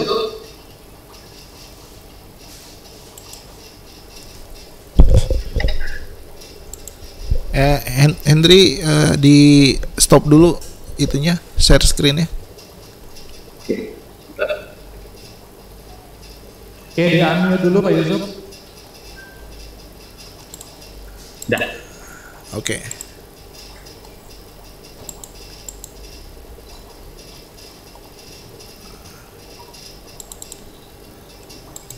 Ya, selamat pagi. Terima kasih. Oke, silakan Pak Yusuf menyampaikan materinya. Ya, kasih plus lagi dong untuk Pak Yusuf Kurnia. Nah ini Bapak Ibu yang uh, saya ada beberapa saya baca uh, pertanyaan dari peserta uh, mengenai infrastruktur ya nanti Pak Yusuf akan bantu menjelaskan mengenai infrastruktur untuk penerapan e-learning. Pak Yusuf silakan. Ya, uh, terima kasih kepada uh, moderator yang sudah memberikan saya waktu uh, untuk menjelaskan uh, materi yang memang saya tuliskan di dalam buku ini tentang infrastruktur apa saja sih yang dibutuhkan oleh perguruan tinggi atau sekolah uh, untuk bisa atau dapat menerapkan e-learning dan sistem monitoring yang seperti apa. Di sini uh, mungkin tadi ada beberapa uh, narasumber juga di sini yang mengatakan bahwa e-learning itu uh, adalah proses pembelajaran, proses pembelajaran. Uh, dan sekarang ini yang terjadi itu adalah uh, banyak sekali hanya sebatas menggunakan media, uh, media online untuk membagi materi, yang membagi materi. Tapi proses pembelajaran yang dilakukan oleh si dosen atau tenaga pendidik itu tidak terjadi, tidak terjadi. Nah, bagaimana supaya benar benar-benar menerapkan e-learning yang sesungguhnya di mana terjadi proses pembelajaran di dalam uh, proses e-learning tersebut. Ini saya ingin menjelaskan bahwa ada beberapa poin uh, yang perlu atau sangat uh, diperhatikan. Ya, apabila kita ingin menerapkan e-learning secara mandiri, ya ada empat poin yang benar-benar perlu perlu diperhatikan. Yang pertama di sini saya mengangkat adalah uh, pendukung hardware. Ya, hardware seperti apa saja uh, yang dibutuhkan agar bisa menerapkan e-learning ini. Ya, lalu yang kedua itu adalah softwarenya, aplikasi yang yang yang tepat sekiranya untuk sebuah perguruan tinggi atau untuk sebuah kampus uh, untuk dapat menerapkan e-learning. Lalu kontennya, yang terakhir itu adalah aktornya. Ya percuma udah ada hardware, ada software, kontennya sudah ada, tapi aktornya tidak mengerti bagaimana cara menjalankan proses pembelajaran menggunakan learning. Seperti yang tadi Bapak Riki bilang, perlu diadakannya training kepada para pendidik, kepada mahasiswa ini loh learning. Ini loh cara belajar menggunakan. Selanjutnya untuk hardware di sini saya membagi menjadi dua. Uh, di sini ada jaringan internet. Ya, terkait jaringan internet ini yang menjadi sebuah pertanyaan adalah kapasitas bandwidthnya berapa sih supaya bisa menjalankan e-learning? Ya, sebuah kampus harus memiliki kapasitas bandwidth seberapa besar agar e-learning ini bisa dijalankan di kampusnya dia. Ya. Di sini saya membuatkan sebuah simulasi, yang simulasi singkat aja. Di sini diperkirakan uh, bahwa apabila sebuah kampus ingin melakukan sebuah pembelajaran secara online e-learning ini ada beberapa uh, proses penyampaian materi ya seperti di sini uh, saya buat ada empat kategori ya diskusi, uh, diskusi forum, video streaming, teleconference, download materi dan sebagainya. Dan, dan dari cara penyampaian materi di sini saya mengkalkulasi atau memperkirakan kapasitas bandwidth yang memang dibutuhkan memperkirakan kira-kira kapasitas bandwidth yang dibutuhkan untuk uh, empat media cara untuk penyampaian materi. Nah di sini saya mensimulasikan bahwa ada 350 mahasiswa dan atau peserta dosen yang akan aktif secara bersamaan. Yang akan secara, aktif secara bersamaan. Di sini dapat dikalkulasi uh, apabila proses pembelajaran yang mereka lakukan menggunakan teleconference maka kapasitas bandwidth yang dibutuhkan adalah 70 mega. Ya. Ya 70 mega atau bisa dibilang 70 mbps. Oke. okay. Memang kalau dilihat seperti ini oh kapasitas bandwidthnya memang uh, sangat besar memang cukup besar tetapi uh, 70 mbps ini kalau menurut saya masih belum ya belum uh, menjadikan sebuah patokan ya, dijadikan sebuah patokan. Kenapa? Karena ada beberapa yang perlu diperhatikan lagi, yaitu administrasi kampus. Ya. Kelas e-learning berjalan itu belum tentu administrasi kampusnya libur semua. Pasti masih ada beberapa administrasi kampus yang aktif dan menggunakan koneksi internet. Oleh karena itu di sini saya jumlahkan uh, perkiraan saya atau asumsi saya. Ya di sini uh, ada 60 administrasi kampus yang saya perkirakan aktif gitu ya. Dari 60 ini di sini ada beberapa uh, pengkategorian uh, pengguna administrasi kampus. Di sini ada ringan, sedang dan berat. Ya ringan ini kita anggap sebagai staff, lalu yang sedang ini kita anggap kepala program studi dan rektor dan sebagainya, para pejabat, pejabat. Lalu yang berat ini adalah IT programmer. Ya dari 60 ini saya masukkan 30 di ringan, 20 di sedang dan 10 kategori berat ya dapat perhitungan kalkulasinya adalah 60 Mbps ya. Apabila dijumlahkan maka kapasitas bandwidth yang memang dibutuhkan untuk uh, sebuah kampus dengan kapasitas 350 dosen beserta mahasiswa yang aktif secara bersamaan itu kemungkinan ya adalah 135 Mbps kapasitas bandwidth yang dibutuhkannya. Oke. Lalu kalau untuk hardware yang selanjutnya adalah komputer servernya. Setelah kapasitas bandwidthnya servernya harus yang seperti apa seberapa besar spesifik uh, spesifikasi server uh, yang dibutuhkan untuk bisa menjalankan sistem pembelajaran online seperti ini? Di sini saya uh, bercermin kepada Universitas Budi Dharma ya di mana ada spesifikasi server yang dimiliki oleh Universitas Budi Dharma yang mampu mengangkat 350 user secara bersamaan ya. Apabila lebih maka uh, kapasitas uh, spesifikasi server yang dimiliki Universitas Dharma ini sudah tidak mampu. Ya jadi perlu di ditingkatkan lagi spesifikasinya.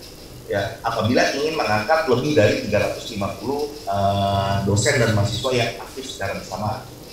Oke lalu yang selanjutnya itu adalah softwarenya. Tadi juga saya melihat uh, ada beberapa pertanyaan.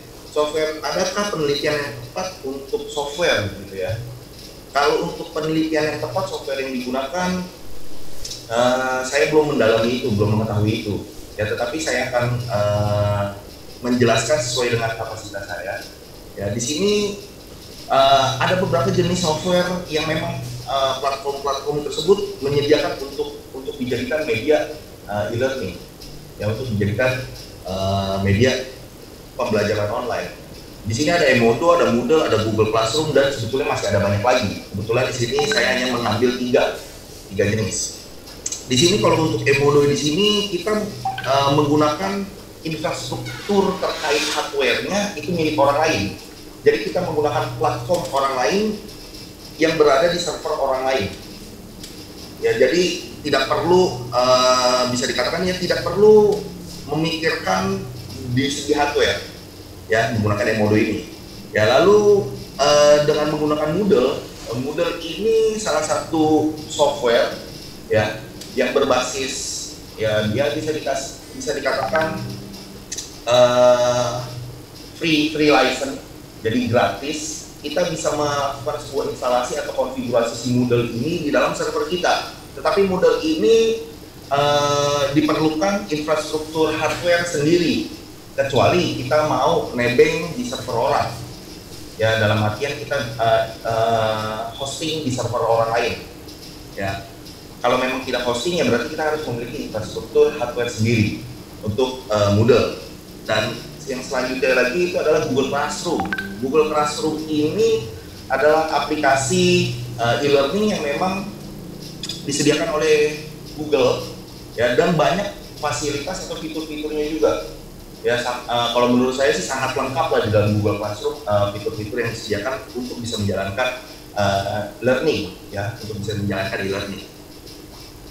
Oke, uh, kalau dikatakan yang tepat seperti apa mungkin perlu di apa ya mungkin bisa dikatakan perlu dicek dulu nih infrastruktur kita di dalam kitanya mampunya semana kalau memang nggak mampu untuk mem, e, menyediakan hardware saya rasa bisa menggunakan Imodo atau Google Classroom untuk dijadikan media e-learningnya oke okay. tetapi kalau memang e, dia merasa oh saya mampu dari segi hardwarenya saya rasa Moodle bisa digunakan untuk uh, uh, aplikasi yang memang digunakan untuk pembelajaran e-learningnya, tetapi dibutuhkan uh, hardware yang mampu mengangkat si model ini. Yang selanjutnya adalah konten. Empat poin penting di sini adalah konten ini adalah uh, salah satu poin pentingnya juga. Di mana kalau misalkan infrastruktur hardware dan software sudah ditentukan, kontennya nggak ada, ya materinya nggak ada. Bagaimana dosen-dosen melakukan sebuah uh, pembuatan materi yang yang tidak memikat, yang tidak menarik ya jadi konten ini juga sangat penting bagi uh, konten di sini adalah peranan dosen di mana dosen uh, harus bisa membuat sebuah uh, pembingkisan atau uh, apa ya penyuguhan materi yang yang menarik untuk uh, mahasiswanya. Ya untuk mahasiswanya. Yang selanjutnya itu adalah aktornya penggunanya. Ya ini yang yang tadi ditekankan oleh bapak Riki juga bahwa e-learning ini nggak sebatas belajar menggunakan platform secara digital gitu. Tetapi ada perlu pelatihan kepada dosen, kepada murid, ya kepada uh, mahasiswa. Dan yang terpenting lagi kalau menurut saya di sini adalah perlunya sebuah admin yang mengelola sistem learning tersebut. Oke, diperlukannya sekolah, uh, administrator dikhususkan untuk mengelola learning tersebut. Kenapa? Karena kalau bercermin pada Universitas Budi Dharma ini administrator untuk mengelola learningnya ini masih belum ada jadi sistem kita sudah ada konten saya rasa dosen-dosen kita sudah sangat hebat untuk membuat konten uh, memikat para mahasiswa untuk belajar. Lalu uh, untuk software juga kita sudah sediakan softwarenya yaitu Moodle. Ya tetapi administratornya ini yang masih kurang. Ya di mana proses penjadwalan yang yang yang terkadang masih simpang uh, bukan simpang siur ya yang ada bentrokan proses penjadwalan lalu mahasiswa yang tidak sesuai memasuki kelasnya dan sebagainya. Ya itu diperlukan administrator uh, sistem learning di dalam universitas Dharma dan administrator ini menurut saya sangat penting. Di Dharma Pak Yusuf mohon maaf waktu Pak Yusuf. Oke. Okay. Selanjutnya lagi proses monitoring, saya rasa proses monitoring akan saya jelaskan secara singkat saja. Ya untuk monitoring server mungkin uh, sebatas hanya untuk melihat resource server kita kemampuannya se seperti apa, prosesor, kecepatan, proses data dan sebagainya. Oke untuk monitoring yang uh, jaringan ini ketersediaan si, si e-learning ini untuk dapat diakses. Kebetulan di sini saya membuat uh, menggunakan beberapa aplikasi pendukung ya seperti Telegram. Ya, jadi saya menggunakan Telegram. Jadi apabila si software eh, software sorry si server learning ini down, maka akan diberikan atau dikabarkan informasi menggunakan Telegram. Oke, okay, uh, eh, yang terakhir mungkin kesimpulannya aja. Ya, kesimpulannya yang terpenting untuk bisa menerapkan learning di dalam kampus atau universitas itu adalah empat komponen tadi hardware, software, ya lalu konten dan aktornya perlu adanya pelatihan pelatihan pelatihan terhadap aktor tersebut. Lalu sistem monitoringnya supaya kita bisa mengontrol server kita berjalan dengan benar atau tidak, server kita mampu atau tidak mengatasi atau mengangkat kapasitas mahasiswa dan dosen yang online. Uh, lalu monitoring terhadap jaringannya, server kita down atau tidak. Jadi apabila terjadi down terhadap server learning kita, kita bisa melakukan sebuah uh, tindakan lah untuk mengatasi hal tersebut. Saya rasa cukup Pak Ceng, Pak Moderator. Ya, terima kasih Pak Yusuf atas pemaparannya. Mohon maaf tadi saya terlewatkan penjelasan profil singkat ya. Nah, Pak Yusuf ini uh, sebagai dosen tetap di Universitas Budi Dharma juga ya. Beliau yang mengikuti Universitas Budi Dharma ya. Makanya seluk-beluk e-learning uh, infrastrukturnya khususnya uh, Pak Yusuf yang mengetahui. Oke, kita kasih aplaus uh, buat Pak Yusuf ya terima kasih atas pemaparannya berikutnya pemateri dari Pak Jakob Detan dengan topik perbandingan e-learning berbasis Moodle di Indonesia dan di negara-negara tetangga ya. pada Pak Jakob Detan saya persilakan ya pada para peserta berikan aplaus juga untuk Pajak Kegiatan sampai saat ini jumlah peserta yang sedang menonton atau mengikuti kegiatan ini sebanyak 243 yang sedang menonton ya. Terima kasih semua uh, masih setia mengikuti materi-materi sampai selesai. Oke, Pak Jakob silakan. Baik, terima kasih Pak Oke, oh, mohon maaf Pak Jakob, saya belum menjelaskan profil singkat ya. Oh ya uh, Pak Jakob Betan ini lulusan S3 bidang engineering ya Pak Detan ya. Uh, dari uh, Monash University Malaysia. Ya, dan baru lulus tahun 2020 Pak Detan juga sebagai kaprodi ya, di Universitas Budi Dharma. Dan ada karya-karya jurnal ataupun tulisan uh, di jurnal internasional ya. Nanti lebih detailnya bisa dilihat di buku ya. Oke Pak Detan silakan. Oke. Uh, terima kasih Pak Cainyap dan salam sejahtera buat mahasiswa-mahasiswa yang saya kasihi dan rekan-rekan dosen di seluruh Indonesia yang menyaksikan video ini. Baik hari ini saya ingin sharing tentang bagaimana sih perbandingan e-learning itu yang diterapkan di Indonesia dan negara-negara tetangga. Saya harapkan ini dapat memberikan wawasan baru buat mahasiswa maupun dosen yang mungkin belum melihat seperti apa Moodle, khususnya Moodle itu diterapkan di negara-negara lain.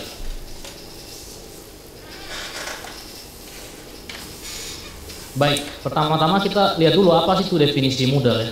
Itu merupakan salah satu learning management system atau biasa disingkat LMS ya seperti yang sudah dijelaskan oleh Pak Yusuf sebelumnya ada Google Classroom ya selain itu ada juga Edmodo, Canvas, ya Blackboard ya banyak sekali opsi-opsi ya tapi salah satu poin yang begitu menonjol dari Moodle adalah yang tadi sudah dibilang Pak Yusuf dia open source dan dia sebenarnya bisa di customize ya kalau kita lihat tampilan Moodle ini ya, ini tampilan yang digunakan di Universitas Budi Dharma. Kita bisa mendesain Moodle ini sesuai dengan profil universitas kita. Itu salah satu selling point daripada Moodle. Kemudian Moodle ini juga menawarkan advanced features yang memang belum dimiliki oleh uh, platform yang lainnya. Seperti kalau kita bandingkan dengan Google Classroom ya. Contohnya seperti ini. Kita bisa sebagai dosen sebenarnya kita bisa memonitor mahasiswa mana yang malas, mahasiswa mana yang rajin. Ya. Jadi kalau mahasiswa tidak tahu hari ini kalian lihat bahwa sebenarnya performa kalian bisa diketahui oleh dosen. Jadi dosen bisa ketika mengupload file PDF ataupun video ataupun itu, kita bisa enable namanya completion tracking. Ya. Di sini kita bisa memilih show activity as complete when conditions are met dan kita bisa memilih ketika student sudah melihat view file tersebut maka dia sudah memenuhi kondisi itu maka dosen tinggal akses ke report ketika kita akses ke report, kita pilih activity completion, kita bisa melihat siapa saja sih mahasiswa yang udah melihat file itu ya. Dan siapa aja yang belum. Jadi mahasiswa yang sama sekali online tapi tidak akses file-file itu kelihatan. Itu advance feature dari Moodle. Selain itu, Moodle ini juga bisa memiliki fitur di mana kita mengenable peer-to-peer assessment. Peer-to-peer assessment artinya kita bisa mengubah pola pembelajaran tidak hanya berpusat terhadap dosen, tapi berpusat kepada mahasiswa. Sehingga mahasiswa bisa diberikan kesempatan untuk menilai sesama mahasiswa. Mahasiswa bisa menilai sesama mahasiswa itu kalau dosen mau menambahkan fitur ini buat dosen yang belum tahu, silakan add activity di workshop. Workshop ini kita bisa enable peer-to-peer assessment. Jadi ini fitur advance yang dimiliki oleh Moodle. Ya. Selain itu nanti akan saya jelaskan di slide selanjutnya. Nah, kemudian kalau kita bandingkan dengan Google Classroom, Salah satu fitur yang dimiliki Google Classroom yang belum diterapkan di Moodle adalah bagaimana notifikasi itu di forward ke email. Nah ini kelebihan Google Classroom ya. Jadi Google Classroom memiliki kelebihan di mana ketika ada announcement, ada pertanyaan mahasiswa, dosen langsung tahu saat itu juga ya. Sementara di Moodle harusnya bisa, tapi di Indonesia rata-rata belum menerapkan itu ya.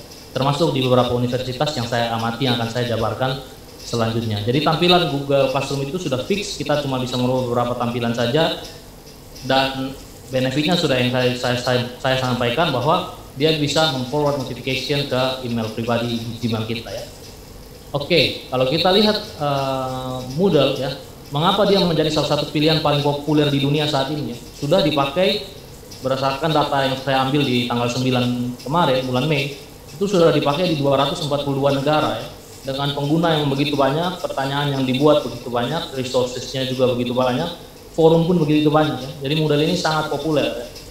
Kalau buat yang belum tahu, model ini dibuat di Australia, di Perth ya. Sehingga di Australia dia sudah dipakai sejak di atas tahun 2003 ya. Itu dia sudah sangat uh, mulai digunakan, menyebar dan akhirnya berkembang dan akhirnya ke seluruh dunia sampai saat ini. Nah, dalam penelitian yang saya lakukan ya saya, saya menulis salah satu bab dalam buku yang akan kami terbitkan di Universitas Budi Dharma saya melakukan observasi langsung di empat universitas ini ya yaitu di University of Southern Queensland di Australia khususnya di kota Toowoomba kemudian Monash University di Malaysia di KL ya. kemudian dua universitas di Indonesia yaitu Universitas Budi Dharma dan Universitas Pelita Harapan saya melihat seperti apa model digunakan di keempat universitas ini di negara-negara yang berbeda ini.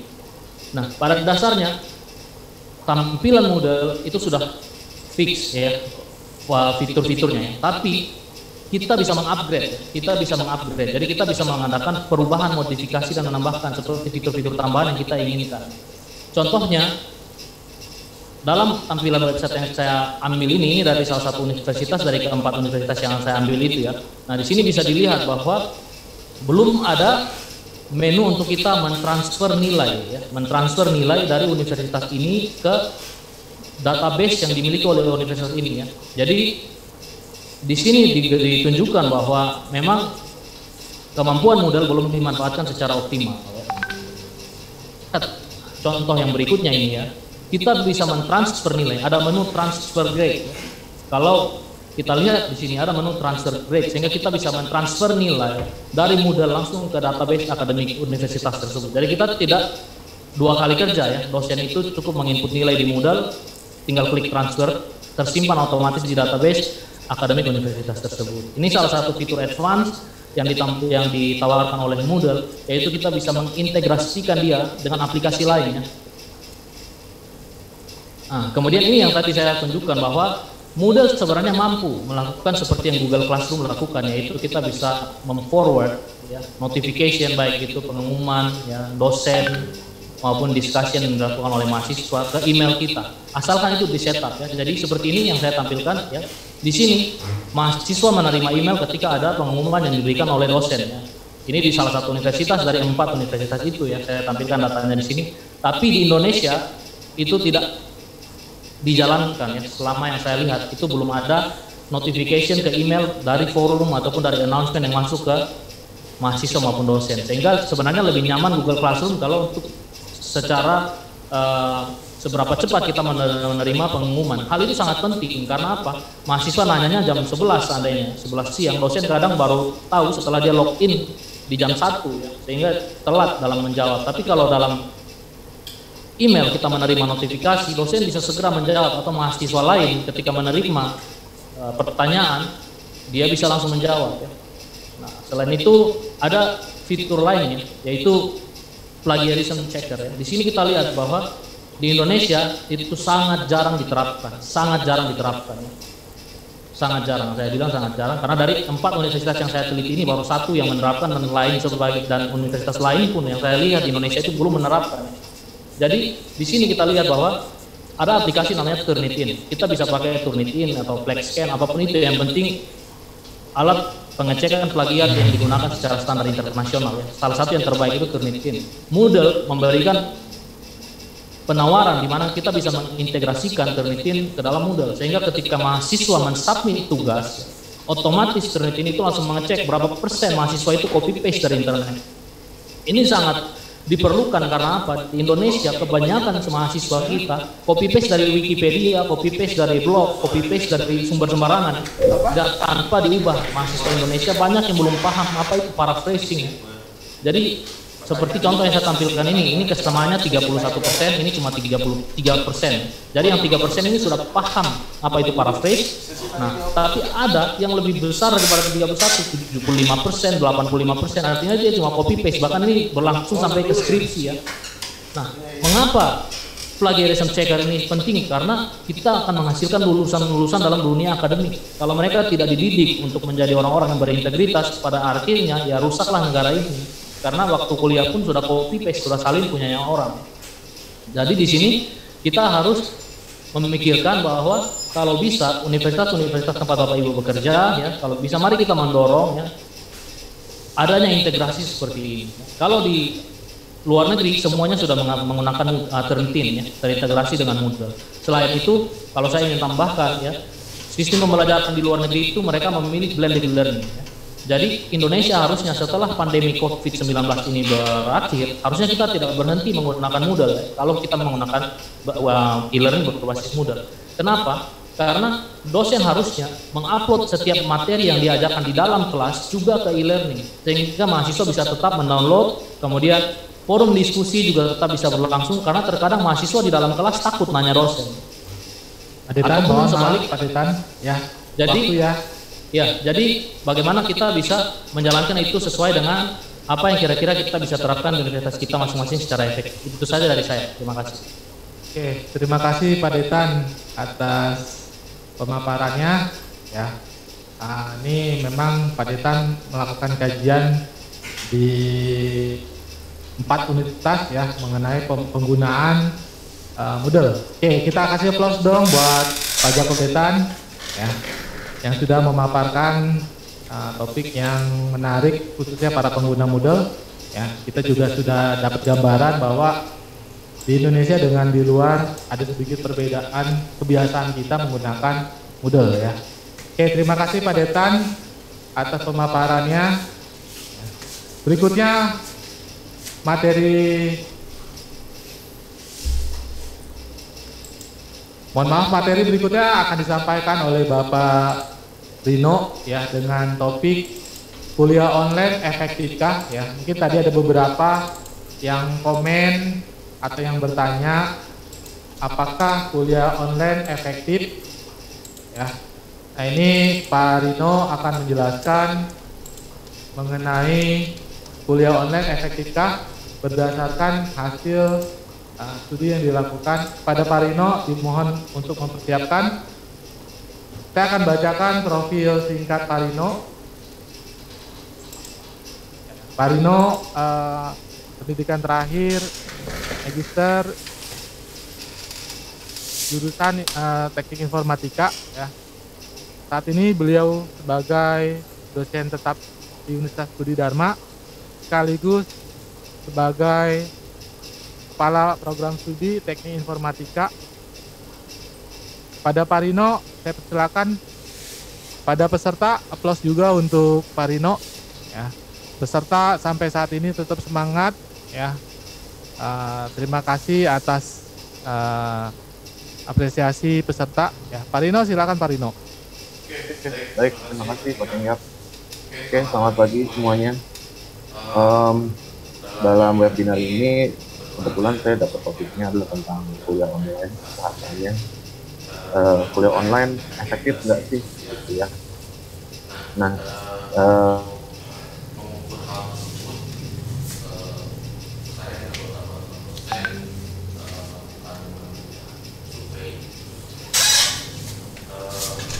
ya. uh, dilakukan mulai 23 sampai 29 Maret 2020 melalui Google Form. Kemudian penyebaran linknya uh, melalui PAG uh, baik dosen dan mahasiswa di wilayah Jabodetabek. Respondennya dosen dan mahasiswa. Kemudian totalnya terdiri dari 321 mahasiswa dan 65 dosen. Oke. Okay. Oke, survei untuk beberapa pertanyaan yang dipertanyakan uh, ini yang pertama dari status responden itu ada mahasiswa dan dosen kemudian lokasi kampusnya ada di Jabodetabek ada beberapa yang di luar Jabodetabek ya. Kemudian dari data survei di situ bahwa kita dapat hasil bahwa 65,5% kampus itu tidak pernah. Artinya tidak pernah ya memang sama sekali tidak ada sarana untuk media e-learning nah ini yang jadi satu kendala juga khususnya pada saat pandemi sekarang di mana kampus-kampus yang tidak pernah menggunakan ini menjadi sesuatu yang baru yang susah untuk kemudian eh, 31,8 persen dari siswa uh, sudah pernah menggunakan video ini. Ada beberapa kampus juga yang memang kita dari 65,9 itu ada kampus-kampus yang sudah kan juga menggunakan kemudian uh, beberapa pertanyaan juga yang ditanyakan. Uh, pertanyaannya adalah sebelum adanya kebijakan belajar di rumah apakah kampus sudah menyediakan pembelajaran ini hasil dari hasil yang tadi. Kemudian um, saya nggak secara keseluruhan jadi yang uh, lebih mudah uh, ada pertanyaan yaitu adalah tools atau media learning yang anda gunakan? Dari responden yang dipertanyakan itu ada 85,4 persen itu adalah menggunakan itu kemudian yang peringkat kedua adalah telegram jadi memang mengikuti bahasan dari Pak uh, Pak Jakob tadi bahwa memang di Indonesia penggunaan e-learning masih sangat kuat ya. Uh, khususnya media-media online seperti tadi sudah aku Google, Moodle dan sebagainya. Jadi mereka lebih berinteraksi dengan menggunakan aktif dan RSS. Oke, kemudian sarana internet yang digunakan itu juga jadi satu ya kendala tersendiri bahwa eh, kata-kata orang mesti menggunakan paket data mereka. Di satu sisi ini jadi beban baru buat buat masyarakat. Apalagi mahasiswa yang memang atau kendala kuliah juga, jadi eh, kita juga punya biaya sendiri untuk melakukan pembelajaran. Kemudian ada yang punya bisa menggunakan media eh, atau eh, berbayar ya kabel di rumah akan eh, pakai provider di media dan home eh, itu tingkat kedua. Kemudian ada yang menggunakan sarana kantor ada yang menggunakan public wifi. Lalu untuk uh, penggunaan media learningnya perangkat yang digunakan dari survei ini bahwa 67,9 persen itu menggunakan media. Yang tingkat kedua, eh, sorry, tingkat pertamanya adalah malah smartphone. Jadi uh, mungkin smartphone di sini jadi satu gadget yang paling sering digunakan oleh dosen dan mahasiswa untuk uh, dia menggunakannya di online ya untuk kuliah online lalu um, aktivitasnya. Untuk aktivitas kuliah online memang agak berbeda dengan kuliah di kelas itu biasanya. Khususnya materi ajarnya. Kalau mungkin materi ajar eh, bisa dipresentasikan eh, kalau di kelas gitu ya. Tapi kalau di kuliah online ternyata masih eh, nggak terlalu banyak ya. Intinya dia masih di tingkat kedua untuk PowerPoint. Sedangkan untuk penyampaian materi itu lebih ke sifatnya presentasi ya. Baik itu dengan uh, Office Word atau bentuk format video. Lalu ada juga sudah menulis di website atau video tutorial. Nah yang jadi kendala adalah gimana kalau yang praktek gitu ya? Praktek eh, saya ada pengalaman sama beberapa dosen bahwa eh, rata-rata mereka mengulang video tutorial.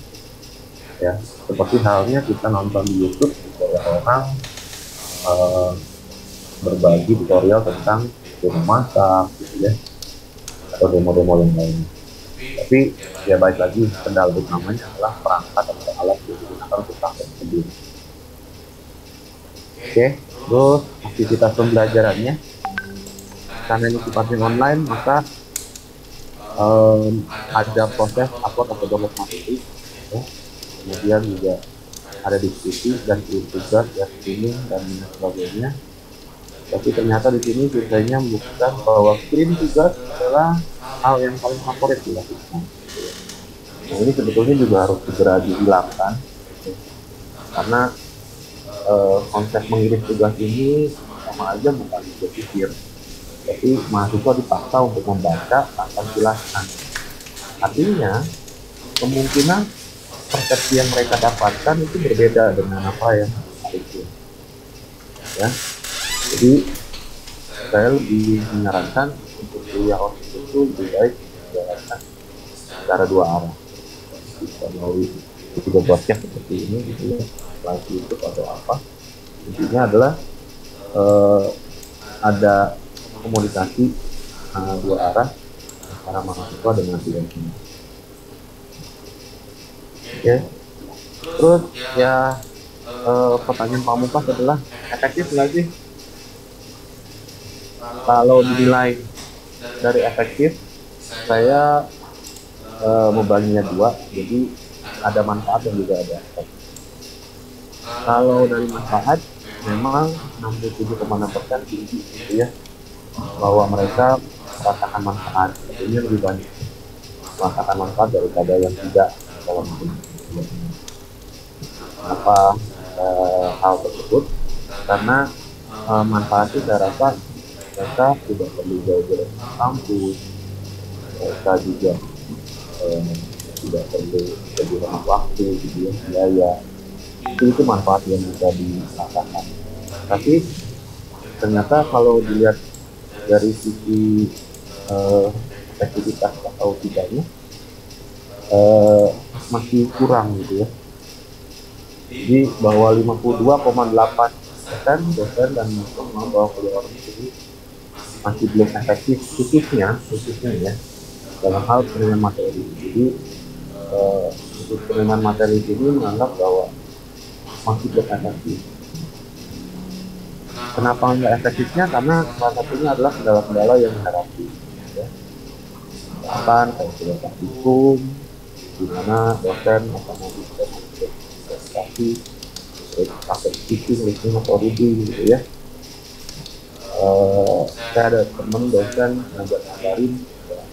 Ya, di kelas kecil diskusi mahasiswanya gitu kan. Apalagi harus online. Ya, salah satu caranya adalah dengan dosennya yang gitu. Kita bikin video tutorialnya. Jadi betul-betul ada feedback antara mahasiswa dengan dosen kendala lainnya adalah ya tadi karena ini online berarti eh, faktor utamanya adalah internet. Ya jadi kalau jaringannya jelek jaringannya eh, melek-melek gitu ya kata-kata ya informasi yang disampaikan pun pasti akan berkurang kualitas jadi memang besar atau banyak yang dikerjakan dalam untuk kuliah online. Oke nah eh, intinya adalah eh, di masa mendatang tantangan dosen akan sangat berbeda jadi dosen bisa jadi sebagai pelatih, kontrolor, manajer sampai ini. Ya dan peran mahasiswa juga akan mengalami perubahan dari penerimaan kuantitatif menjadi kuantitatif ya de, kemudian bagaimana pembelajaran sebagai aktivitas individual dan pembelajaran berkolaborasi dengan oke jadi saya harapkan juga um, lebih bisa berkoordinasi antara kampus dengan dosen itu dan kemudian persiapan infrastruktur dan juga pengetahuan-pengetahuan bagi baik bagi dosen maupun mahasiswa Oke, kurang lebih itu yang bisa saya sampaikan. Terima kasih untuk kesempatannya. Silakan, ya. Ya, terima kasih Pak Rino atas pemaparannya. Ya, mungkin sedikit terjawab apakah efektif atau tidak ya dari pemaparan yang telah disampaikan oleh Pak Rino. Ya. Oke, sesi berikutnya adalah sesi tanya jawab. Ya, uh, tadi di kolom chat sudah ada beberapa pertanyaan yang sangat baik ya, yang dita ditanyakan oleh rekan-rekan peserta. Ya. Oke, uh, kepada nanti pada empat narasumber yang telah memaparkan uh, boleh bantu jawab. Ya, ini kaitan ke masing-masing materi yang telah disampaikan. Ini ada pertanyaan bagaimana cara pengajaran yang efektif sehingga mahasiswa mengerti dan merasa tidak jenuh dengan cara pengajaran. Lalu berhubungan ke kreativitas juga ada yang bertanya mengenai metode apa yang dilakukan seorang dosen untuk menilai sejauh mana mahasiswa mengerti tentang suatu materi yang disampaikan oleh dosen. Apakah ada cara yang sudah dilakukan oleh para dosen di UBD? Ya. Lalu pertanyaan satunya lagi mengenai kreativitas Bagaimana solusi untuk mendongkrak atau support kreativitas mahasiswa? Sedangkan di masa pandemi, beberapa mahasiswa yang memang belum mengerti mengenai mata kuliah harus dilakukan khususnya uh, praktek ya. Oke, mungkin dari empat narasumber siapa yang mau bantu menjawab pertanyaan-pertanyaan berhubungan dengan kreativitas? Atau mungkin uh, Pak Suhendri yang materi kreativitas kira-kira bagaimana? Boleh bantu jelaskan? Silakan Pak Suhendri.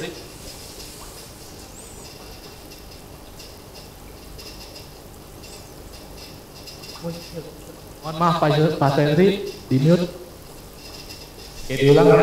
Ya, terima kasih Pak Dekar. Jadi kalau misalnya dari apa yang sudah saya lakukan mengenai aktivitas ini adalah bagaimana caranya supaya kreatif mahasiswa bisa mengerti dan bisa pertanyaan dari uh, Nometa ya. Ini salah satu mahasiswa saya juga. Biasanya yang saya lakukan adalah uh, para dosen harus berusaha mempunyai konsep active learning atau student center learning seperti tadi bicara lain juga sudah sampaikan. Jadi fokusnya lagi bukan kepada apa yang kita sampaikan saja, tapi bagaimana mahasiswa itu bisa aktif. Uh, lebih kepada keaktifan dari para mahasiswa.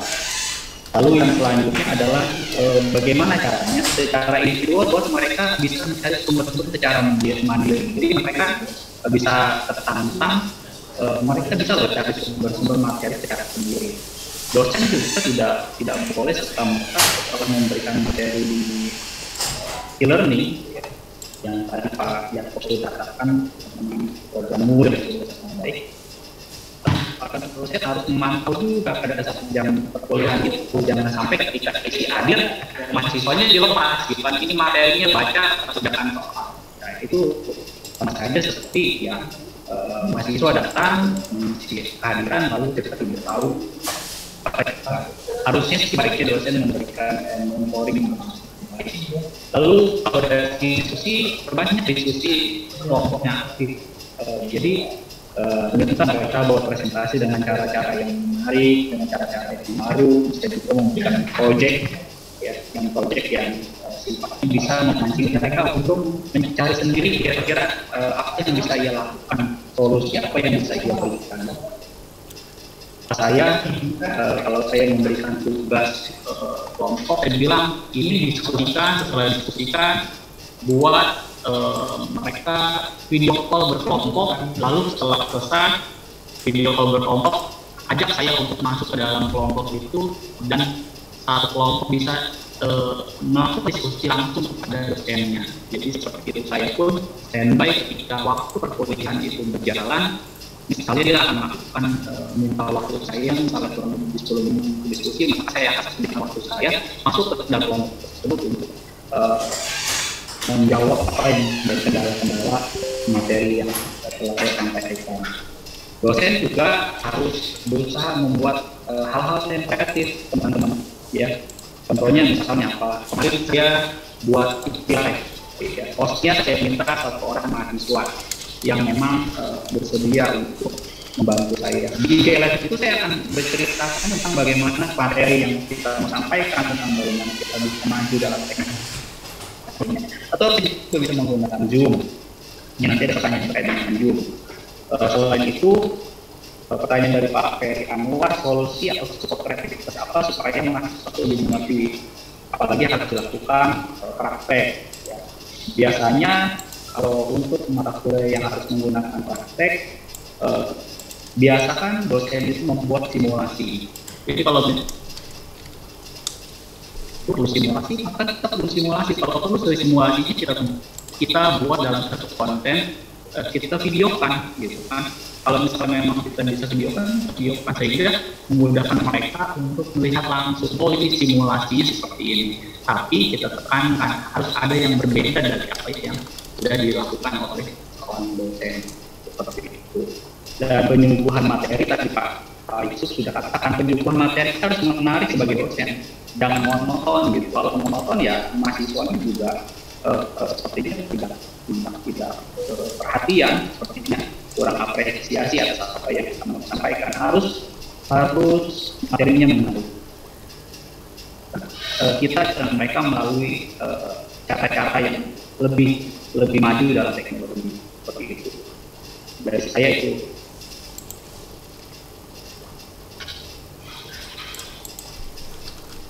Oke, terima kasih Pak Hendri ya uh, atas jawabannya. Nah, mungkin ada lagi pertanyaan lain nih. Ini mungkin uh, cocoknya ke Pak Yusuf Kurnia ya. Pak Yusuf, ada yang bertanya apakah perlu khawatir untuk menggunakan media Zoom yang dikatakan tidak aman digunakan untuk pembelajaran online? Kira-kira Pak Yusuf boleh bantu jawab? Ya, uh, saya coba bantu jawab untuk penggunaan aplikasi Zoom. Kalau dari yang saya baca-baca, uh, memang Zoom ini semenjak terjadinya pandemi ini salah satu aplikasi yang sangat sangat apa ya bisa dikatakan sangat menjadi sebuah pilihan buat sebuah corporate, buat sebuah universitas untuk menjalani. Suaranya belum belum masuk. Bisa masuk. Ya, tes tes tes udah udah masuk tes tes masuk masuk masuk okay. um, di sini saya mau coba menjelaskan uh, kenapa uh, tadi dikatakan bahwa zoom ini aman atau tidak begitu ya uh, dari yang saya uh, saya juga sudah sempat membaca dan mempelajari bahwa aplikasi zoom ini uh, seperti apa ya memang aplikasi Zoom ini menjadi sebuah pilihan ya, banyak korporat banyak sebuah perguruan tinggi yang menjadikan uh, sebagai media mereka untuk melakukan uh, komunikasi di sini saya baca ada beberapa kasus yang memang uh, di di saat mereka sedang melakukan sebuah uh, meeting conference seperti itu ada beberapa uh, video uh, bukan video sih gambaran Eh, hal-hal uh, yang tak senonoh yang tiba-tiba masuk ke dalam uh, sisipan meetingnya mereka gitu. Tapi kalau menurut saya sih aplikasi Zoom ini masih layak untuk digunakan. Kenapa? Karena memang yang namanya sebuah software bagi si perancang atau bagi si pendesain si software tersebut akan terus meningkatkan security-nya mereka, akan terus mengembangkan uh, aplikasinya mereka agar layak digunakan gitu ya. Tapi uh, ada beberapa apa ya bisa dikatakan ada beberapa berita juga bahwa si si Zoom ini ke sininya sudah semakin memperbaiki, sudah semakin memperbaiki uh, tingkatan security yang mereka miliki agar tidak dapat dimasuki oleh beberapa hacker gitu. Kalau menurut saya sih uh, masih layak untuk digunakan dan saya rasa juga Oke Pak, uh, Pak Yusuf ini juga ada yang tanya nih. Ya. Ya selain ke uh, Zoom nih khusus infrastruktur, ini ada bertanya, Bagaimana cara mengatasi pembelajaran kepada mahasiswa atau siswa yang tidak memiliki jaring jaringan sinyal di sekitar tempat tinggal? Nah ini gimana Pak Yusuf? Waduh, kalau ya ini mungkin menjadi permasalahan kita bersama ya, menjadi permasalahan kita bersama, terutama Republik Indonesia ini negara kita Indonesia yang menjadi permasalahan bersama. Memang terkadang masih ada daerah-daerah tertentu yang masih tidak terjangkau koneksi internet. Nah ini yang menjadi permasalahan kita bersama uh, agar apa ya penyam, uh, agar koneksi internet itu bisa bisa diakses di di mana pun gitu di di Indonesia. Ya kalau untuk uh, menanggapinya agak sedikit sulit ya jika memang uh, tempat si mahasiswa tersebut tinggal. Ya, karena kebutuhannya jaringan ya. Iya, karena memang kebutuhan. Mau nggak mau harus ada ya. Kalau dia kalau kita mau belajar e-learning tanpa ada jaringan, ya tidak juga ya. Tidak bisa. Itu ya Pak, Pak Yusuf ya. Ya, terima kasih Pak Yusuf. Nah, satu lagi ada pertanyaan nih, bagaimana cara integrasi, integrasi Moodle dengan Turnitin? Nah, mungkin Pak Jacob Detan bisa bantu jawab. Ya, Baik, terima kasih Pak Cahya. Ya. Halo. Kedengeran Pak, silakan Pak. Oke. Okay.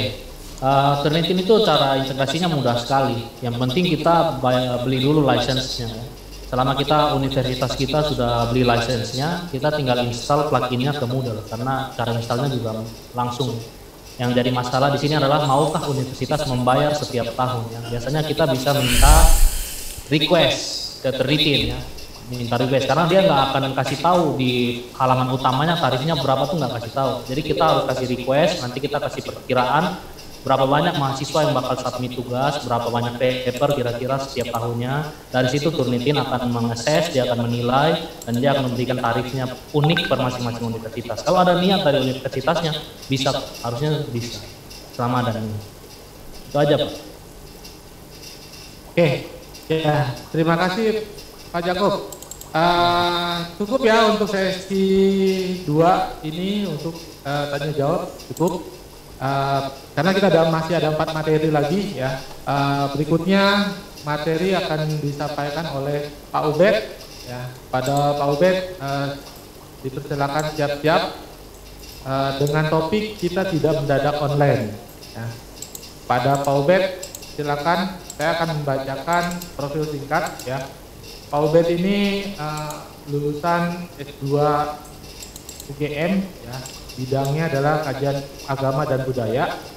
Dosen tetap di Prodi Ilmu Komunikasi Universitas Budi Dharma. Ya, beliau juga sebagai peneliti banyak karya yang sudah dipublikasi baik jurnal nasional ataupun internasional pada Pak Ubed, saya persilakan dan kepada para peserta uh, kasih plus dulu dong untuk Pak Ubed. Ya. Dan saya mengingatkan untuk materi nanti akan dikirimkan melalui email. Silakan Pak Ubed.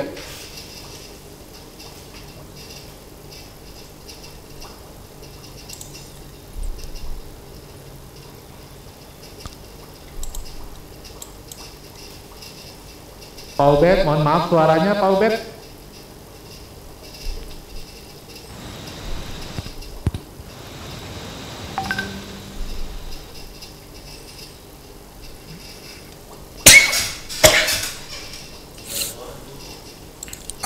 Pak Obed, di saya suaranya belum masuk ya Pak Obed. Mungkin yang lain ada ada yang kedengeran suara Pak Obed?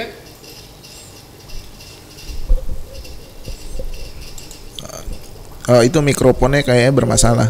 Apa headsetnya? Mohon maaf ya peserta, uh, para peserta. Di di skip aja di lengkap. Masalahan. Oke, okay, Pak Obed. Oke, okay, uh, jelas suara saya, Pak Oke, okay. oke, okay, okay, sudah masuk. Oke. Okay. Okay, Silakan Pak Obed. Oke, baik terima kasih. Saya coba um, akan presentasikan secara uh, singkat ya dan uh, apa namanya berusaha untuk tidak mengulang apa yang sudah disampaikan oleh para pembicara sebelumnya. Tulisan saya lebih ke reflektif ya. Um, saya coba untuk melihat dari perspektif sosial dan komunikasi terutama. Nah, um, apa yang ingin saya kan dengan ingin saya katakan sebagai bahwa kita tidak mendadak online itu adalah sebagai bahwasanya sebetulnya kita eh, apa dalam kondisi ini kita tidak tidak apa namanya ekosistem sosialnya ekosistem media sosial ini bukan sesuatu hal yang baru sebetulnya. Ya dalam perspektif yang eh, sejarah bahwa eh, apa namanya ekosistem media sosial itu sudah terbentuk sudah sudah lama sekali ya dan mungkin yang perlu saya tekankan jelaskan bahwa ya secara eh, apa genealogis atau secara sejarah kira-kira eh, perkembangan teknologi digital ini bukan sesuatu hal yang eh, tiba-tiba ya. Artinya berkembang secara evolutif. Bahwa penemuan eh, teknologi digital itu sudah di, sudah secara bertahap ya dilakukan ataupun dijelaskan oleh uh, para katakanlah para uh, perintis ya teknologi komputer sampai ke dunia digital. Nah, um, saya coba untuk kemudian uh, ke lebih ke persoalan-persoalan etis ya. Oh, Dan saya juga akan menyinggung sedikit dari kacamata uh, kacamata power relations atau uh, relasi kuasa dalam uh, melihat praktek-praktek pembelajaran online yang kita alami sekarang ini dalam konteks sekarang ya uh, praktek uh, pembelajaran online itu um, yang ingin saya katakan bahwa ya sebetulnya um, ini kita dalam kondisi yang dalam tanda kutip dalam kacamata uh, relasi kuasa atau ukut ya itu sebagai sesuatu yang kondisi yang terpenjara istilahnya. Atau dalam bahasa dalam bahasa apa namanya si support itu panoptikon dalam kondisi karantina ter uh, terkurung gitu kan tetap kita sebagai manusia makhluk sosial begitu kita tidak bisa untuk uh, berdiam begitu saja bahwa kita masih uh, pasti butuh akan komunitas pasti butuh akan komunikasi dengan dunia luar gitu. Nah media-media uh, sosial dalam hal ini juga pembelajaran e-learning itu sebetulnya uh, apa namanya usaha kita untuk terus berupaya berkomunikasi dengan dunia luar. Bahwa kita penting untuk melakukan um, apa namanya untuk selalu berkomunikasi dengan dunia luar. Nah uh, pembelajaran e-learning dalam konteks uh, pembelajaran ini juga sebetulnya bagian daripada uh, apa namanya uh, munculnya komunitas-komunitas online. Selain itu kita juga kita tidak cukup sebetulnya dalam pembelajaran online itu hanya dalam komunitas-komunitas yang sifatnya formal. Maka kemudian saya dan mungkin uh, para dosen ataupun mahasiswa juga sebetulnya bisa mengikuti komunitas-komunitas virtual lain yang sangat uh, menjamur ya dan itu sebagai apa bagian daripada kebutuhan kita sebagai manusia dan menambah uh, apa namanya kerangka uh, wawasan dan memperluas jaringan dan sebagainya dan sebagainya. Justru dari aspek itu sebetulnya ini menjadi peluang kita bersama dalam apa meningkatkan uh, kapasitas kalau selama ini mungkin pembelajaran kelas konvensional kita hanya terfokus kepada ruang-ruang kelas yang kita ikutin tetapi dengan bermunculnya bermunculannya berbagai macam komunitas virtual ya itu uh, justru menjadi peluang untuk kita memperluas pembelajaran secara lebih uh, apa lebih luas lagi. Bukan hanya dalam konteks mungkin nasional tapi juga uh, kita bisa menjangkau uh, jaringan internasional. Ya ada beberapa dosen ataupun kita mahasiswa saya kira uh, secara tidak uh, secara langsung kita juga bisa mengakses komunitas-komunitas virtual atau pembelajaran-pembelajaran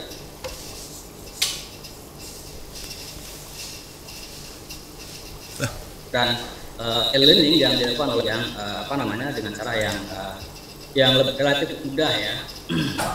Oke, okay, uh, berikutnya saya ingin fokus ke masalah-masalah uh, persoalan etis dan operasional.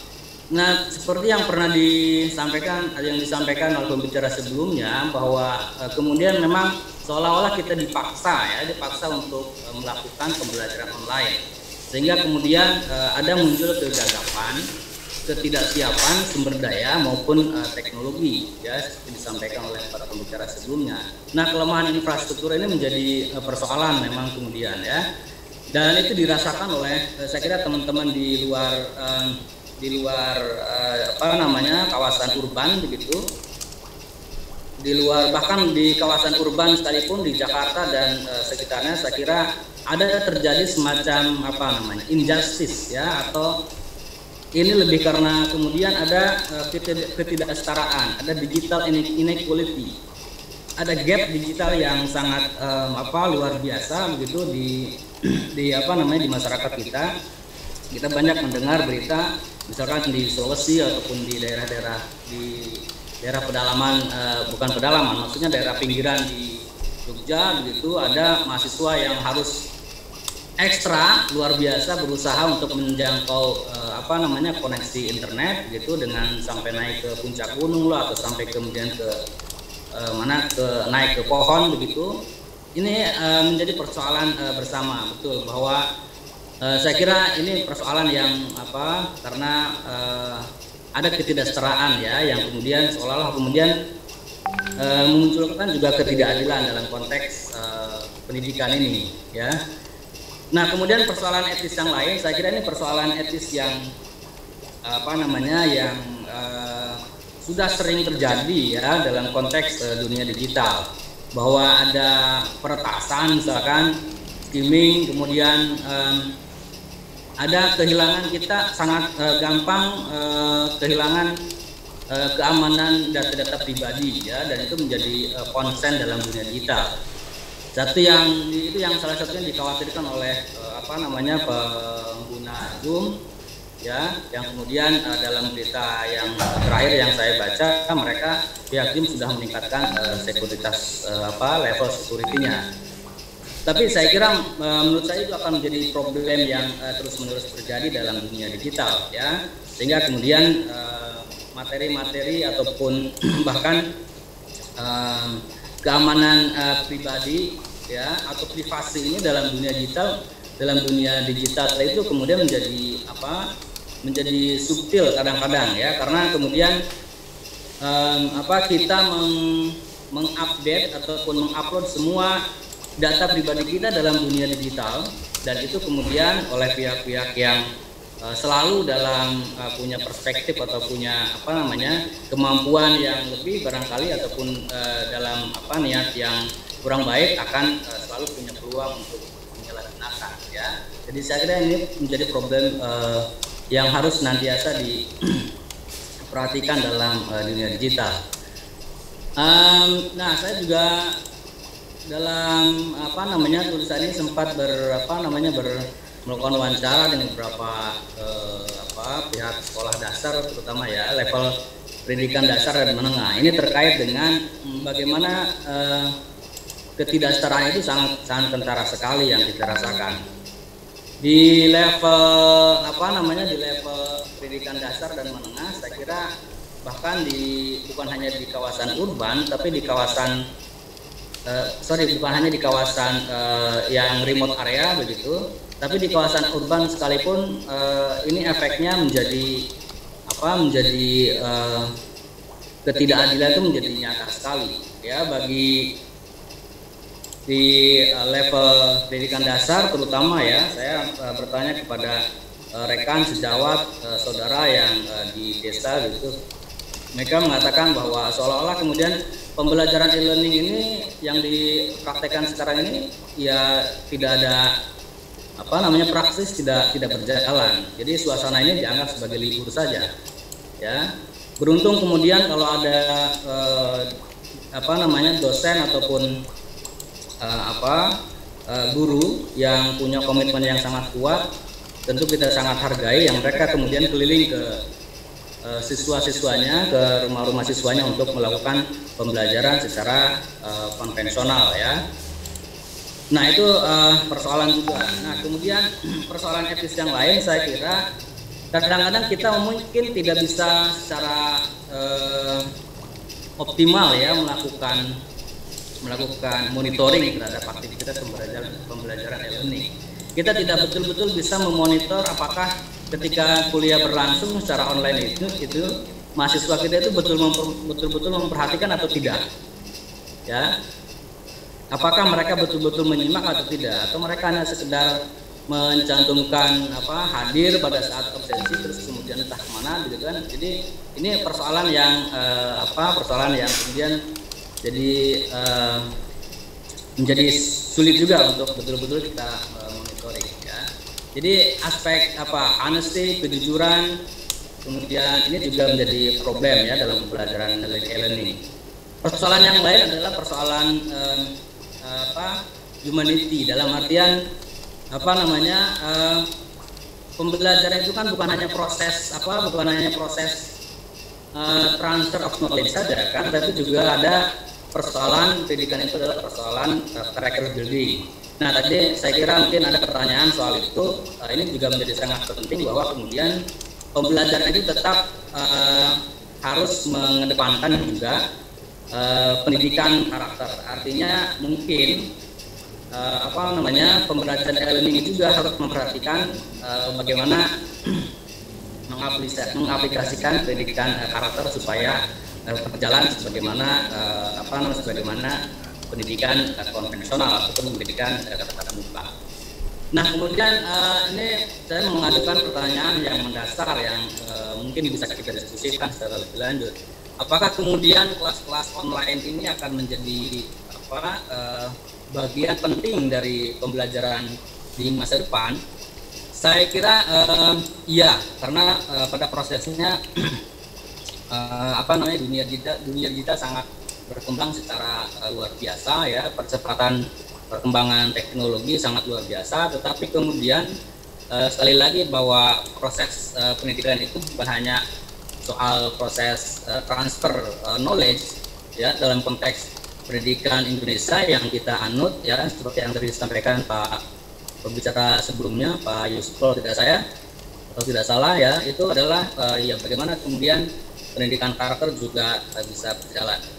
Sebagai kesimpulan dan rekomendasi saya kira uh, sepakat dengan uh, pembicara sebelumnya bahwa kita masih punya pekerjaan yang berat dalam uh, terutama meningkatkan ya meningkatkan kapasitas infrastruktur kemudian kapasitas sumber daya baik dosen maupun mahasiswa training-training masih harus dikerjakan begitu dan juga terutama membangun uh, kesetaraan aksesibilitas terhadap koneksi jaringan internet ya. Kemudian uh, ya pendekatan humanistik tetap juga harus di uh, tetap, tetap juga harus dijalankan saya kira ya. Uh, jangan sampai kemudian pembelajaran e-learning ini mengabaikan ya mengabaikan Ubed mohon maaf disela Pak Ubed waktu Pak Ubed. Ya, ya. baik saya kira uh, itu Pak Ceng. Terima kasih atas uh, waktunya. Silakan. Ya oke okay, terima kasih Pak Ubed atas pemaparan materinya ya. Uh, kita kasih plus dulu dong buat Ubed ya. Uh, pada para peserta yang masih tetap stay terima kasih ya. Uh, kita akan lanjut. Materinya akan kita lanjut ke topik dosen dan pembelajaran kesulitan dan solusi menggunakan teknologi dalam jaringan yang akan disampaikan oleh Ibu Harisa Mardiana. Kepada Ibu Harisa, silakan mempersiapkan presentasinya. Sambil saya membacakan profil singkat untuk Ibu Harisa. Ibu Harisa saat ini sebagai dosen tetap di Universitas Studi Dharma. Beliau saat ini sedang menempuh pendidikan strata uh, S3 ya di University Utara Malaysia untuk konsentrasi instruksional education. Beliau juga sebagai penulis ya, ada buku yang sudah diterbitkan serta uh, sebagai peneliti juga ya. Pada Bu Harisa saya persilakan Pak Ubed mungkin share screen-nya di stop dulu. Oke, terima okay. uh, Pak Ubed. Ya, yang ya. kepada para peserta yang masih tetap stay ya, uh, saya sambil menunggu Bu Harisa mempersiapkan uh, untuk sertifikat akan dikirimkan melalui email. Ya. Email yang terdaftar pada saat uh, kalian melakukan registrasi Mohon juga dicek email yang terdaftar itu apakah valid atau tidak ya karena saya mengirimkan email bal uh, email balasan banyak yang tidak masuk. Oke, mungkin sudah siap Bu Harisa Bu Harisa silakan menyampaikan materinya dan jangan lupa untuk unmute. Kasih plus dong buat uh, Bu Harisa. Ya. Selamat siang. Ya, saya pikir tadinya jam 11, katanya setengah 12 ya. Jumatan. Oke. Okay. Saya akan uh, membahas tentang dosen dan pembelajaran. Di sini hanya fokus pada satu masalah, yaitu kesulitan dosen dan solusi dalam menggunakan teknologi dalam jaringan. Itu aja yang saya akan bahas di sini. Tolong nanti kalau ada pertanyaan di Oke, okay. ini kita mulai dulu dari pembelajaran daring. Apa sih pembelajaran online atau itu? Itu ada pembelajaran yang bisa didukung oleh internet, menggunakan teknologi. Dan pembelajaran ini bisa di dalam ruangan, bisa di dalam kampus, bisa di rumah. Jadi pembelajaran daring terdiri dari beberapa program internet di dalam luar tembok kampus jadi bisa di mana di remote area atau juga bisa di dalam kampus sendiri. Itu bisa seperti itu. Nah, kenapa kita belajar daring dan kenapa baru sekarang? Ini masalahnya yang di Indonesia, seluruh Indonesia kita menggunakan pembelajaran daring ini karena di masa COVID semua harus dia stay home, semua harus di rumah. Jadi kita harus dengan alasan seperti itu, Habis ini, maka kita habis ini Tujuannya apa? Karena pembelajaran daring ini bisa memberi kenyamanan akses 24 jam sehari. Tiga orang lagi. Dan seminggu. Pakai komputer atau dari apa pun. Ini untuk akomodasi juga untuk orang-orang yang sibuk, ya, atau orang-orang yang di remote area yang tidak terjangkau. Nah ini dia ini. Ini masih ada dua. Tujuannya sebenarnya seperti itu. Nah, pembelajaran daring ini memakai berbagai teknologi seperti Oh ini si Kanti. Albara, ya, juga email. Email itu awal pertama kali namanya online learning itu di dilakukan awal pertama itu bisa pakai obrolan. Jadi jangan salah obrolan itu apakah bisa pakai pembelajaran bisa grup bisa, pakai teks baru bisa. Jadi teks baru seperti yang ada di dalam kita sekarang ini, ya, itu conference audionya berapa itu Zoom yang kita lakukan atau video. Video itu bisa kita ngomong, kita memberi penjelasan, kemudian orang mendengarkan bisa seperti itu, ya. Nah, dosen itu hanya sebagai fasilitator. Ya, jadi kalau ada sampai mahasiswa kok ini nggak semangat ya belajarnya mahasiswa itu sendiri harus ya menyemangati dirinya sendiri, nggak bisa orang lain. Awal harus dia. Nah, kenapa dosen sulit memberi pembelajaran daring? Awalnya pertama, karena dosen itu memang nggak paham dari konsep pembelajaran. Gambar kamera, lu klik. Harus dipelajari virtual dulu. con, Mau eh, virtual con, virtual background. Akibatnya ya, akhirnya udah soal ini ada bahan soal bahan soal soalnya banyak sekali sampai masuk jadi bingung Gak usah banyak-banyak bu, bapak empat soal aja udah cukup. Ya, kalau saya kalau ngajar bahasa Inggris, saya malah singkat-singkat aja. Ya, misalnya 30 soal, tapi singkat ya, jadi mereka nggak butuh waktu panjang. Tidak perlu yang seperti itu, ya. Gak usah banyak-banyak dan juga pembelajaran ini nanti saya lanjutin. Uh, terus kemudian dosen juga mempunyai kesulitan dalam mengendalikan pembelajaran. Masalahnya pembelajarannya sumbernya minim. Kok hanya buku ini kok hanya ini? Lah ini internet pun banyak. Tapi lihat dulu infrastruktur yang belum memadai. Nah ini sering terputus. Begitu kita memakai terus tiba-tiba putus. Pakai putus seperti itu. Nah ini yang jadi masalah. Dosen harus bisa memilih platform pembelajarannya seperti apa jadi platform yang dimau dimaunya apa Mem, apakah platform itu bisa berupa uh, sosial media? Oh bisa. Saya pernah kok belajar melihat sosial media, tapi harus membuat page, ya halaman di situ, dan mengundang beberapa ahli di dalamnya, sehingga kita juga akan uh, explore diri kita. Oh maksudnya ini, selain ahli ini ada ahli lain. Dan saya juga pernah memberi pertanyaan di ResearchGate dan kemudian bapak ahli yang saya tidak kenal itu memberi masukan kepada saya. Dan itu bagus ya. Nah dalam sumber pembelajaran banyak dosen yang masih mengkopi paste pembelajaran sehingga mahasiswa tuh sering mengkritisi ya dosen itu. Oh dosen ini copy paste ya copy paste tolonglah diedit dulu ya di paraphrase lagi ya sehingga itu kan bisa berlainan yang kata Pak Deton itu kita ada turnitin pakailah itu ya kalau nggak ada turnitin juga yang lainnya belum banyak kok ya nah ini dosen gagap teknologi dan menganggap teknologi itu menakutkan Nah, karena apa? Karena dia mengabaikan dirinya sendiri, mengabaikan kemampuannya untuk belajar teknologi internet. Walaupun udah dikasih pelatihan segimana mungkin, tapi kalau dia terus mengabaikan dirinya sendiri, akhirnya dia tidak bisa. Ya, ini tolong di uh, apa namanya diperhatikan. Komponen pembelajaran daring. Nah, kita lihat konten pembelajarannya. Itu paling nggak harus sesederhana mungkin jangan jelimet ya tolong bikin sesederhana mungkin mau lewat apa lewat ini kirim lewat tapi berapa lama kamu akan mengembalikan evaluasinya berapa lama? Seminggu? Oke. Okay. boleh. Ya. Nah harus interaktif. Apakah lewat email interaktif? Interaktif. Ya. Terus berupa powerpoint video file video audio dan juga bisa berupa dokumen atau pdf itu juga boleh. Ya banyak yang seperti itu.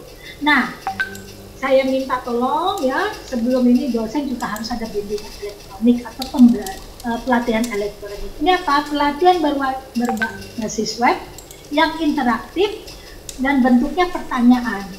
Bisa nggak ini? Bisa nggak menggunakan email? Gimana cara masuk email? Apa?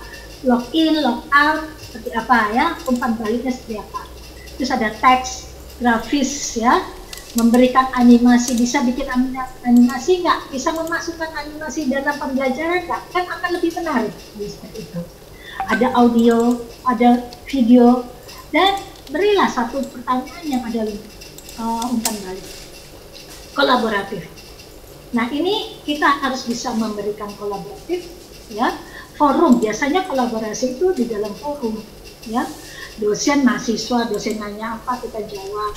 Terus nanti ada juga do, uh, kita bikin lagi kolaborasi lain mahasiswa dosen atau dosen mahasiswa dosen atau semuanya ada di situ boleh bikin itu yang melakukan itu harus dosen tersebut ya tidak ada lain nah ini kelas virtual itu yang tadi yang di awal sudah dijelaskan itu ada kelas yang sinkron dan asinkron Sinkron itu apa? Alat pembelajarnya real time. Pesan instan memungkinkan mahasiswa dosen bertanya menjawab pertanyaan dengan segera.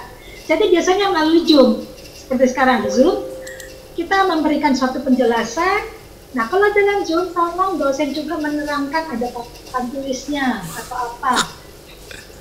Mahasiswa, mengerti, menjawab. Nah, situ pakai itu pakai sinkron. Tapi tolong jangan setiap pertemuan Kenapa? Ya kuotanya besar. Nggak bisa seperti itu. Kasihan mahasiswa. Ya, kalau saya pribadi satu semester mungkin hanya dua kali sebelum UTS dan sesudah. Yang kedua adalah asinkron. Itu dosen dan dosen tidak aktif. Apaan? Misalnya gini, uh, mem ngasih waktu kerjakannya seminggu ya. Saya nggak tahu mereka buka apa enggak ini, tapi saya belum sebut. Eh seminggu kemudian datang, saya koreksi saya lihat ini hasilnya gini karena kenapa suara ketikan gua uh, kamu melakukan ini saya bisa kirim lagi nggak iya. boleh biasanya kalau dalam pendidikan uh, online itu kita memberi kesempatan pada mahasiswa supaya mereka lebih banyak menjawab lebih baik lagi. Ya seperti itu. Nah solusinya. Nah kita ya mau tak mau dosen harus berlatih mandiri kemampuan beradaptasi dengan teknologi. Ya ini belajar. Utak atik aja itu. YouTube atau apa klik aja. Ini takut. Klik aja nggak apa-apa kok kita bilang ya nah dosen harus mempunyai oh, keyakinan. Oh, yang penting. kita punya ya? keyakinan dan harus berubah mengikuti perkembangan. Jadi kita nggak bisa di zona aja ya. Dan harus mempunyai keterampilan menggunakan teknologi dan mengerti platform yang dipakai yang mau yang mana. Model classroom seperti apa model UBD kayak apa apa model yang sekolah lain apa seperti kita pelajari dulu utak atik. Kalau saya saya utak atik nanti kalau rusak ya kita bawa komputer saya ini seperti ini. Rusak tolong dong dibenerin. Nanti dibenerin kok ya. Nah kita nggak perlu mengabaikan kemampuan kita. Nah kita mau ya. Kalau saya si pribadi, saya kalau presentasi pakai yang untuk anak-anak selalu pakai warna-warni biar matanya melek ya. Ada nggak ada gambar? Tapi itu adalah sesuatu yang menolong ya. Kalau sekarang kedengeran nggak? terima kasih banyak sekian dan terima kasih Ya, terima kasih Bu Harisa atas pemaparannya. Ya, nah, kita kasih aplaus untuk Bu Harisa. Kita lanjut saja ya, karena waktunya ini uh, sudah melewati. Kita lanjut ke materi berikutnya adalah kajian penerapan e-learning pada mata kuliah Psikologi Komunikasi Program Studi Ilmu Komunikasi Universitas Budi Dharma. Kepada Ibu Galuh, silakan mempersiapkan materinya. Ya. Saya akan bacakan profil singkat Bu Galuh. Iya. Ntar saya cek. Bu Galuh sudah siap ya? Oke, Oh. saya bacakan profil singkat uh, Bu Galuh uh, sebagai dosen Universitas Budi Dharma dan sebagai ketua program studi ilmu komunikasi. Bu Galuh juga sebagai penulis di beberapa jurnal. Oke, singkat saja Bu Galuh saya silakan untuk memaparkan materinya dan kepada para peserta kita kasih aplaus untuk Bu Galuh. Baik, terima kasih. Selamat siang. Eh, singkat saja ya, Eh, karena masih ada peserta eh, setelah saya. Jadi saya di sini menjelaskan tentang kajian penerapan e-learning pada mata kuliah eh, psikologi komunikasi yang saya ampu. Eh, latar belakangnya sedikit saja. S- eh, Bu, sudah, Bu Galuh maaf, slide-nya di double klik dulu Bu Galuh. Iya. Ah ya, slide-nya. Oke. Dah. Oke. Ya. Oke, iya. Eh, ke latar belakang ya em, sejak adanya pandemi COVID-19 ini seluruh kegiatan eh, berubah di semua sektor eh, tak terkecuali di pendidikan khususnya di eh, pendidikan di eh, pendidikan tinggi atau universitas ya. Jadi kegiatan belajar mengajar bekerja belajar dirubah semuanya menjadi work from home at- atau study from home ya. Jadi penerapan e-learning ini tadi yang saya bilang eh, saya aplikasikan pada mata kuliah psikologi komunikasi dengan menggunakan Google Classroom ya. Dengan menggunakan Google Classroom dan eh, terkadang eh, kalau misalnya ada yang eh, tidak jelas mahasiswa bertanya melalui WhatsApp group Eh, definisi e-learning mungkin sudah dari eh, apa pembicara-pembicara di awal ya bahwa adalah eh, e-learning adalah suatu sistem eh, yang memanfaatkan teknologi informasi dalam proses belajar mengajar ya eh, sehingga mampu eh, em, apa namanya menggu- sorry, menggunakan sistem elektronik atau komputer sehingga mampu mendukung proses pembelajaran.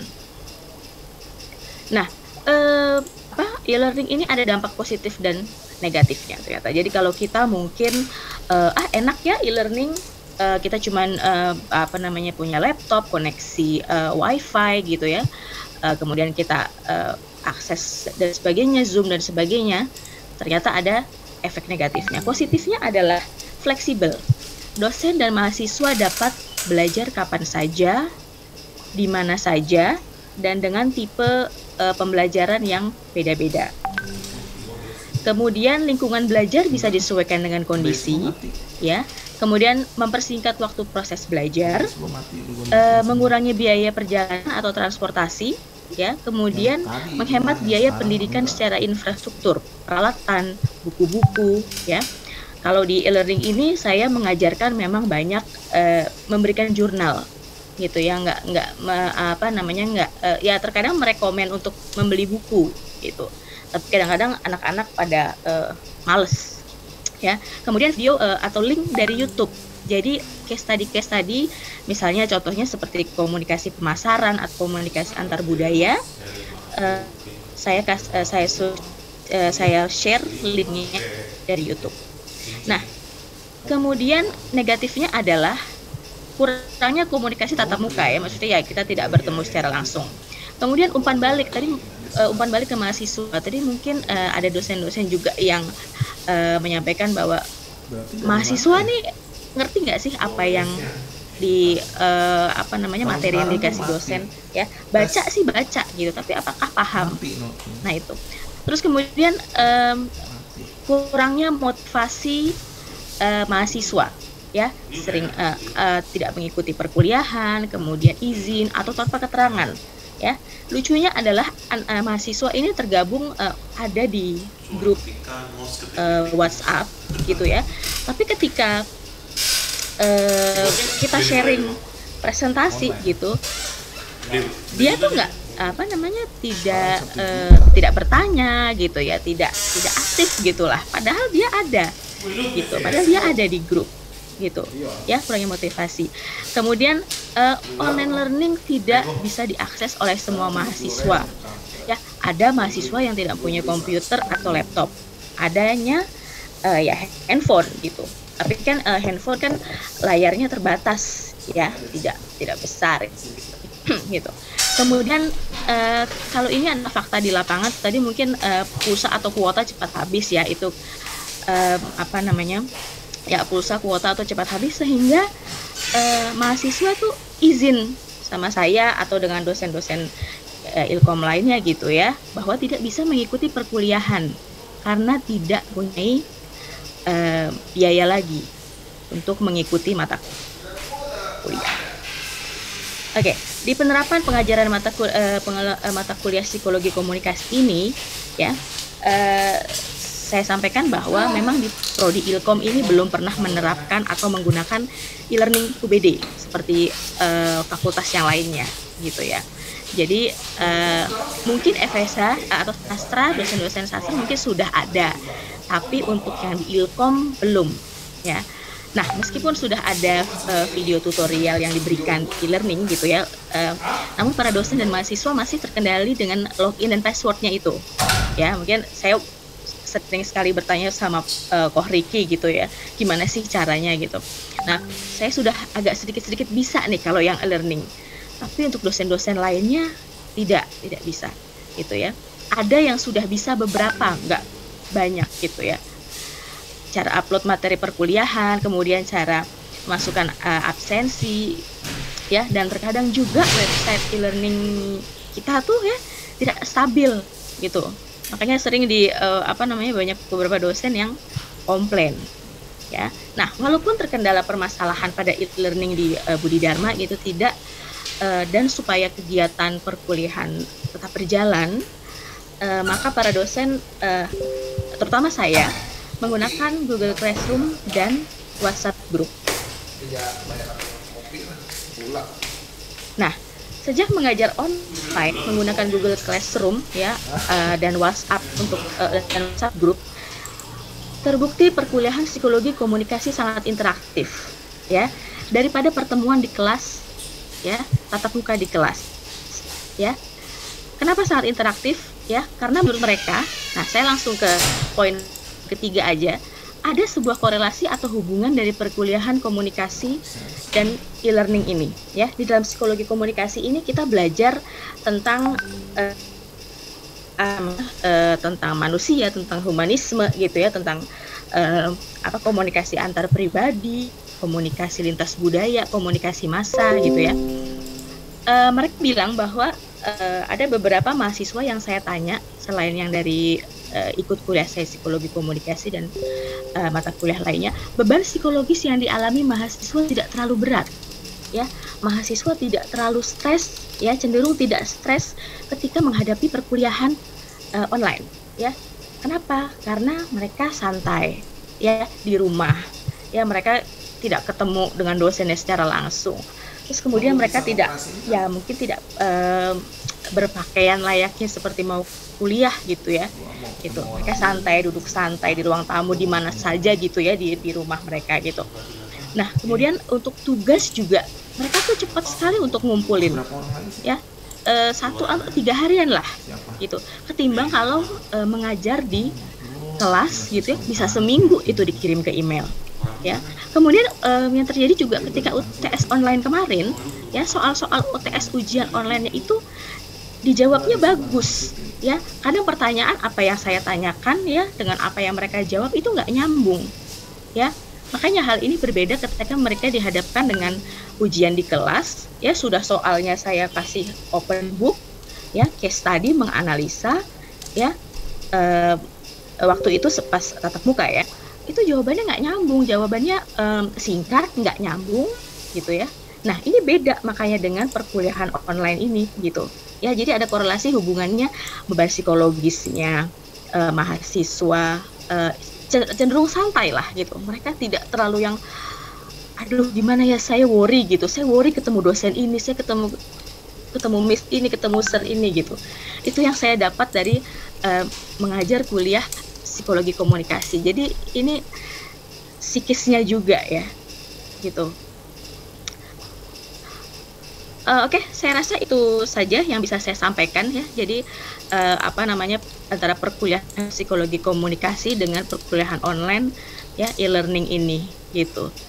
Terima kasih uh, Coach Cheng sebagai moderator dan uh, terima kasih Bapak Ibu atas uh, waktunya. Assalamualaikum. Oke, terima kasih Bu Galuh ya atas pemaparan materinya. Ya ini uh, melakukan studi kasus untuk mata kuliah psikologi komunikasi kepada para peserta yang masih tetap stay kita kasih plus untuk Bu Galuh ya. Oke, saya lanjut saja materi berikutnya ini mengenai penggunaan Google Classroom, Google Classroom sebagai salah satu aplikasi e-learning ya. Kepada Pak Beni Daniawan, saya silakan.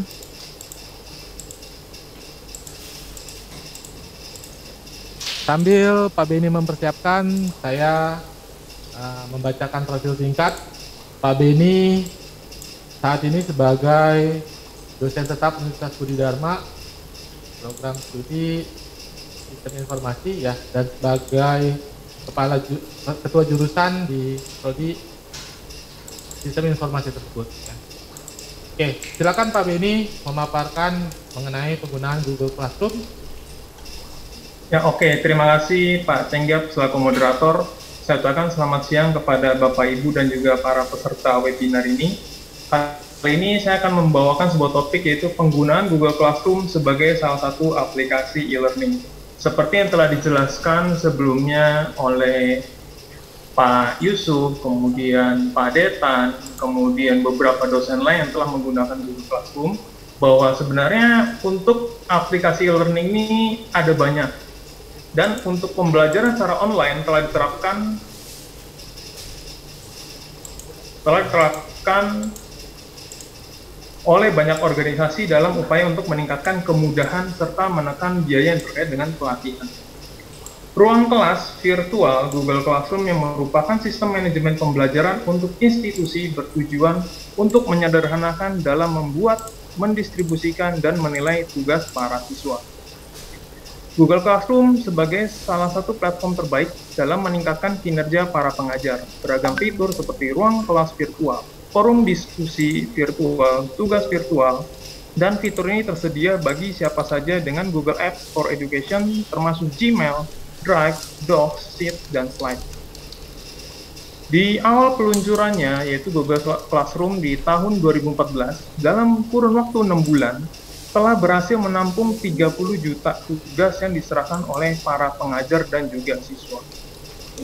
Empat konsep yang mempengaruhi keberhasilan platform pembelajaran online learning, yaitu adalah yang pertama adalah kemudahan akses, kedua adalah kolaborasi, ketiga adalah media aspirasi, dan keempat adalah kecepatan. Kemudahan akses adalah cara kita mengakses dari bermacam perangkat seperti laptop, kemudian tab, dan juga smartphone Google Classroom mengadopsi hal ini. Kemudian kolaborasi yaitu adalah kolaborasi antar siswa dalam melakukan diskusi topik dan juga pengerjaan tugas secara bersama.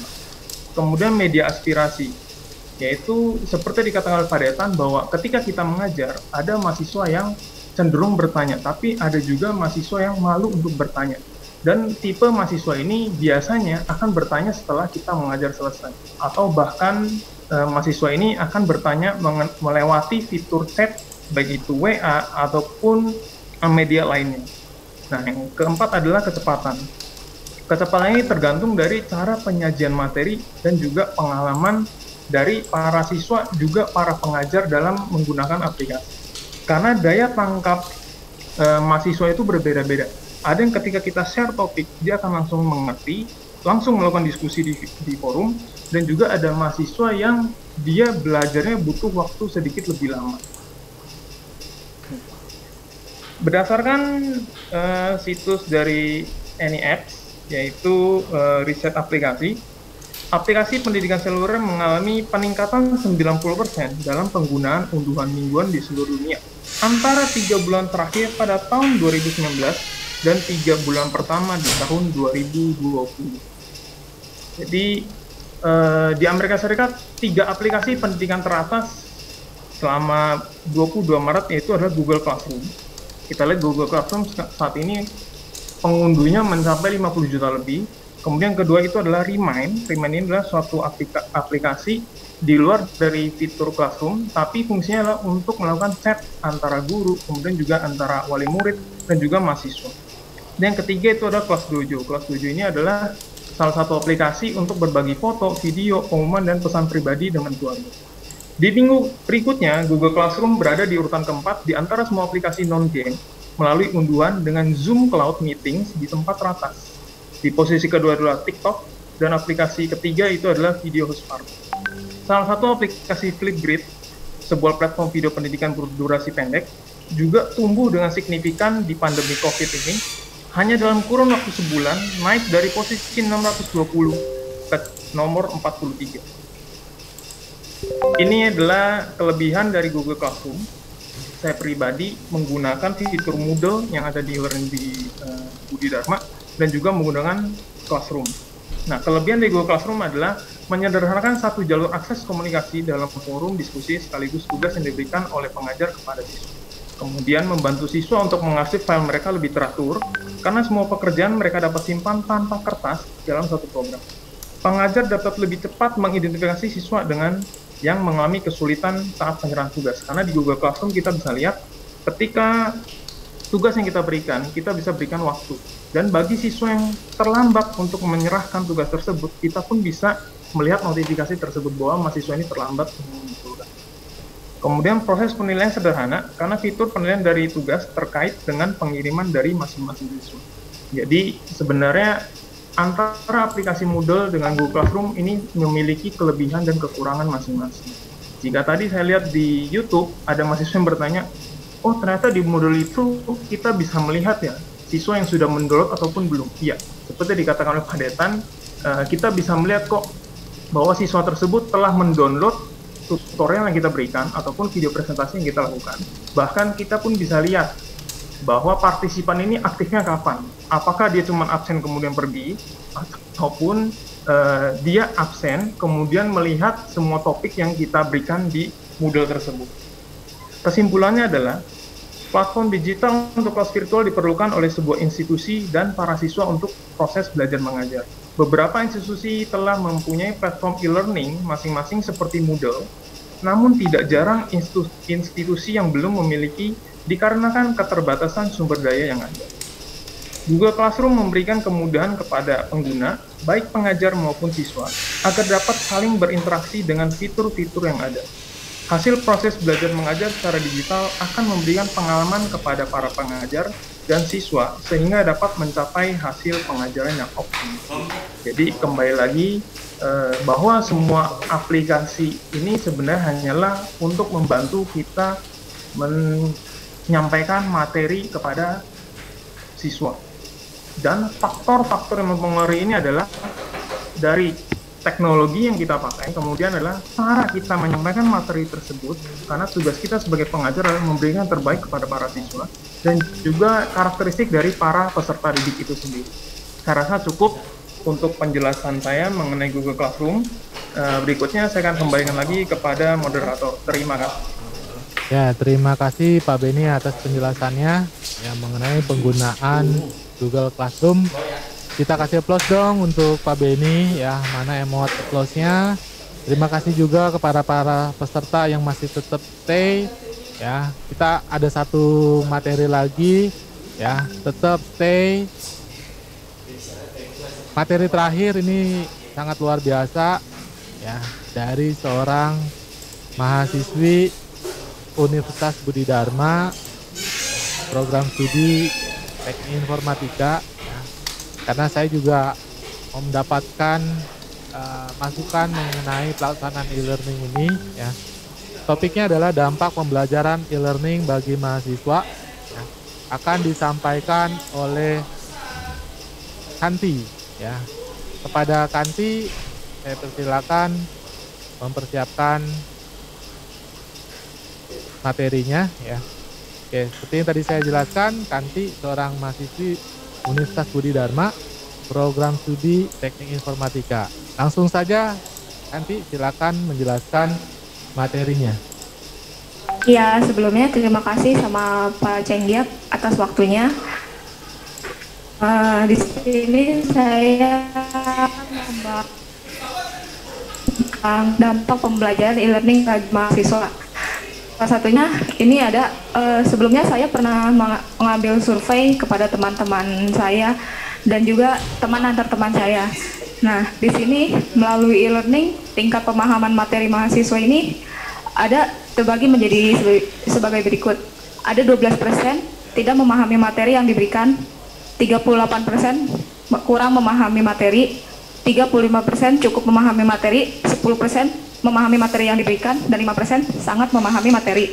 Nah, dari e-learning ini sebenarnya benar kata Pak Suhendri tadi yang udah disampaikan oleh Pak Suhendri dari e-learning mahasiswa itu jadi solid antar temannya karena uh, kita juga bisa saling membantu kalau misalnya kayak salah satu teman kurang paham sama materinya.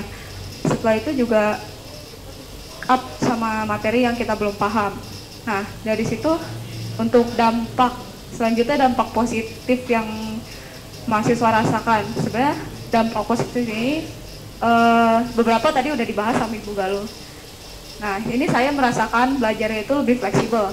Nah, setelah itu tidak dituntut untuk tetap berada di kelas. Nah, belajarnya ini juga tidak membuang-buang waktu.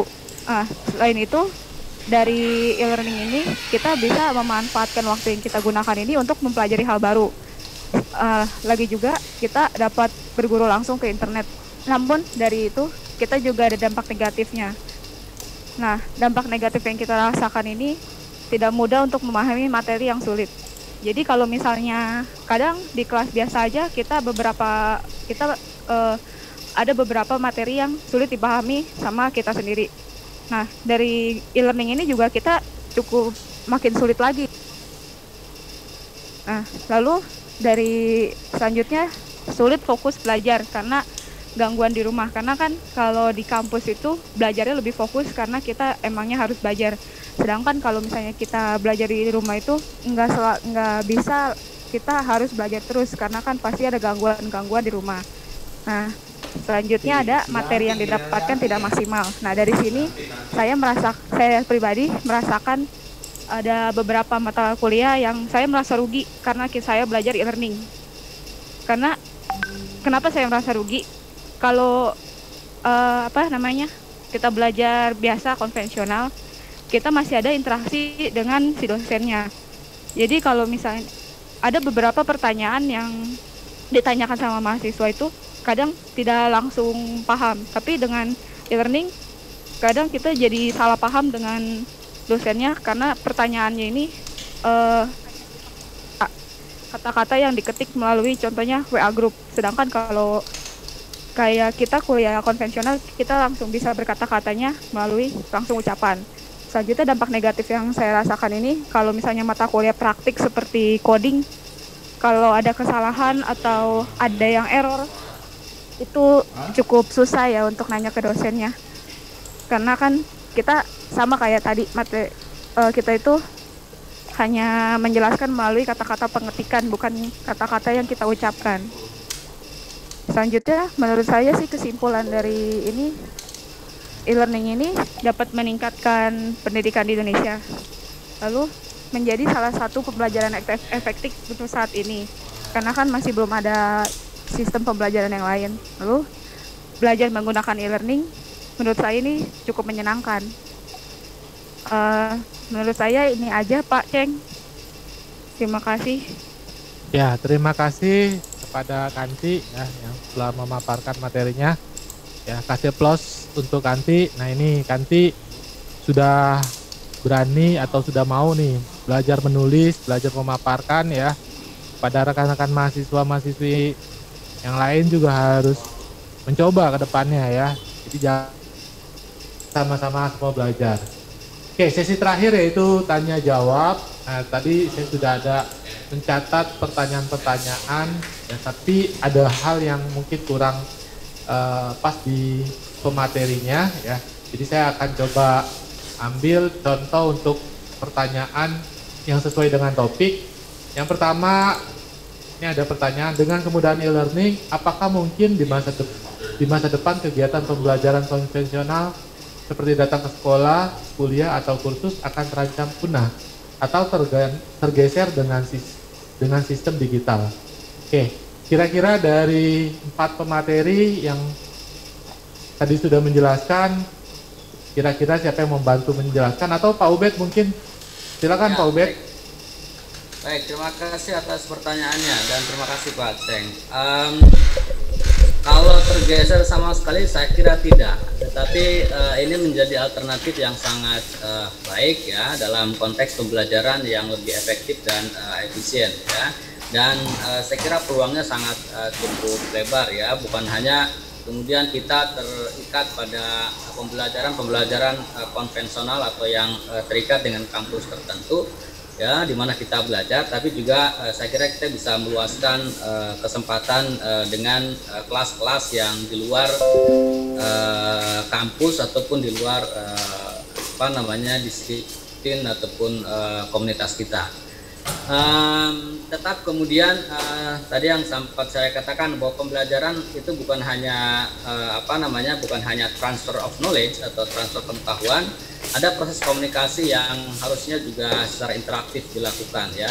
Dan mungkin saya kira uh, jawabannya adalah Masih mungkin menjadi uh, alternatif ya menjadi alternatif. Dan saya kira tidak sepenuhnya kemudian uh, menghilangkan kelas-kelas uh, konvensional dalam kelas-kelas internasional ataupun dalam kelas-kelas pembelajaran jarak jauh saya kira yang sudah banyak dipraktekkan juga itu tetap membutuhkan eh, apa namanya membutuhkan eh, kelas-kelas eh, konvensional tetap muka untuk eh, meningkatkan apa aspek eh, kualitas daripada eh, proses pembelajaran ataupun dalam pendidikan ya uh, nah pendidikan uh, karakter dalam konteks pendidikan kita ya uh, filosofi pendidikan kita saya kira tidak bisa kemudian sepenuhnya dilaksanakan ataupun dilakukan melalui pembelajaran e-learning. Maka kemudian uh, pembelajaran konvensional tetap saya kira uh, perlu ya uh, akan menjadi apa namanya tetap menjadi hal yang uh, penting untuk dilakukan. Apalagi mungkin dalam konteks pendidikan yang uh, sifatnya level dasar dan menengah ya, di mana uh, apa uh, mahasiswa uh, sorry uh, pelajar ya siswa itu uh, masih butuh banyak uh, apa guidance atau bimbingan ya yang secara kualitatif harus dilakukan secara tatap muka Sementara sementara dalam konteks pembelajaran uh, advance ya mahasiswa dan uh, uh, seterusnya saya kira pembelajaran uh, apa e-learning ini menjadi sebuah kesempatan yang luar biasa. Tapi tetap saya kira dalam konteks uh, kualitatif perlu ada uh, pembelajaran pembelajaran pembelajaran yang sifatnya uh, apa tatap muka tetap harus dilakukan. Saya kira itu uh, yang bisa saya sampaikan Pak Baceng. Oke, kasih. terima kasih Pak Ubed atas uh, jawabannya ya. Oke, uh, para peserta waktu sudah menunjukkan jam 12 ya. Mohon maaf ini uh, terlewat dari schedule ya karena materi-materinya cukup padat ya. Kita akan akhiri materi pada siang hari ini ya. Mohon maaf kepada peserta yang mungkin ada pertanyaan tadi saya ada baca beberapa pertanyaan ya tapi ada yang sudah terjawab mengenai kreativitas atau yang lainnya ya. Jadi kami tidak uh, bahas kembali ya. Saya akan akhiri mungkin rekan-rekan uh, narasumber. Kita akan foto bersama. Silakan uh, aktifkan videonya ya. Kita akan uh, show up wajah kita dan kita mengucapkan terima kasih kepada uh, para peserta. Boleh semuanya sambil mengaktifkan uh, mikrofonnya. Ya. Semoga materi yang kita sampaikan semua ya uh, bisa bermanfaat. Kurang lebihnya mohon maaf. Oke, siap kepada para narasumber. silakan mengaktifkan video dan mikrofonnya. Nanti kita akan foto bersama secara online ya. Karena seminarnya online, kita foto bersama secara online. Tampilkan wajah-wajah kita, tampilkan wajah-wajah ceria kita ya. Dan terakhir kita ucapkan terima kasih kepada para peserta. Oke, siap? 3, 2, 1. Tampilkan wajah-wajahnya. Terima kasih. Terima kasih. Ya, terima kasih semua atas keikutsertaannya dalam webinar hari ini ya. Sekali lagi saya ucapkan mohon maaf jika ada hal-hal yang uh, kurang berkenan, jika ada hal-hal yang belum terjawab dari pertanyaan-pertanyaan yang tadi disampaikan ya. Sekaligus sebelum saya tutup uh, untuk informasi ya, sekali lagi saya ulang e-sertifikat akan dikirim melalui email masing-masing ya. Jadi kepada para peserta yang emailnya tidak valid boleh mengirimkan email kembali ke cengjak@gmail.com. Oke, terima kasih semuanya. Saya akhiri. Selamat siang.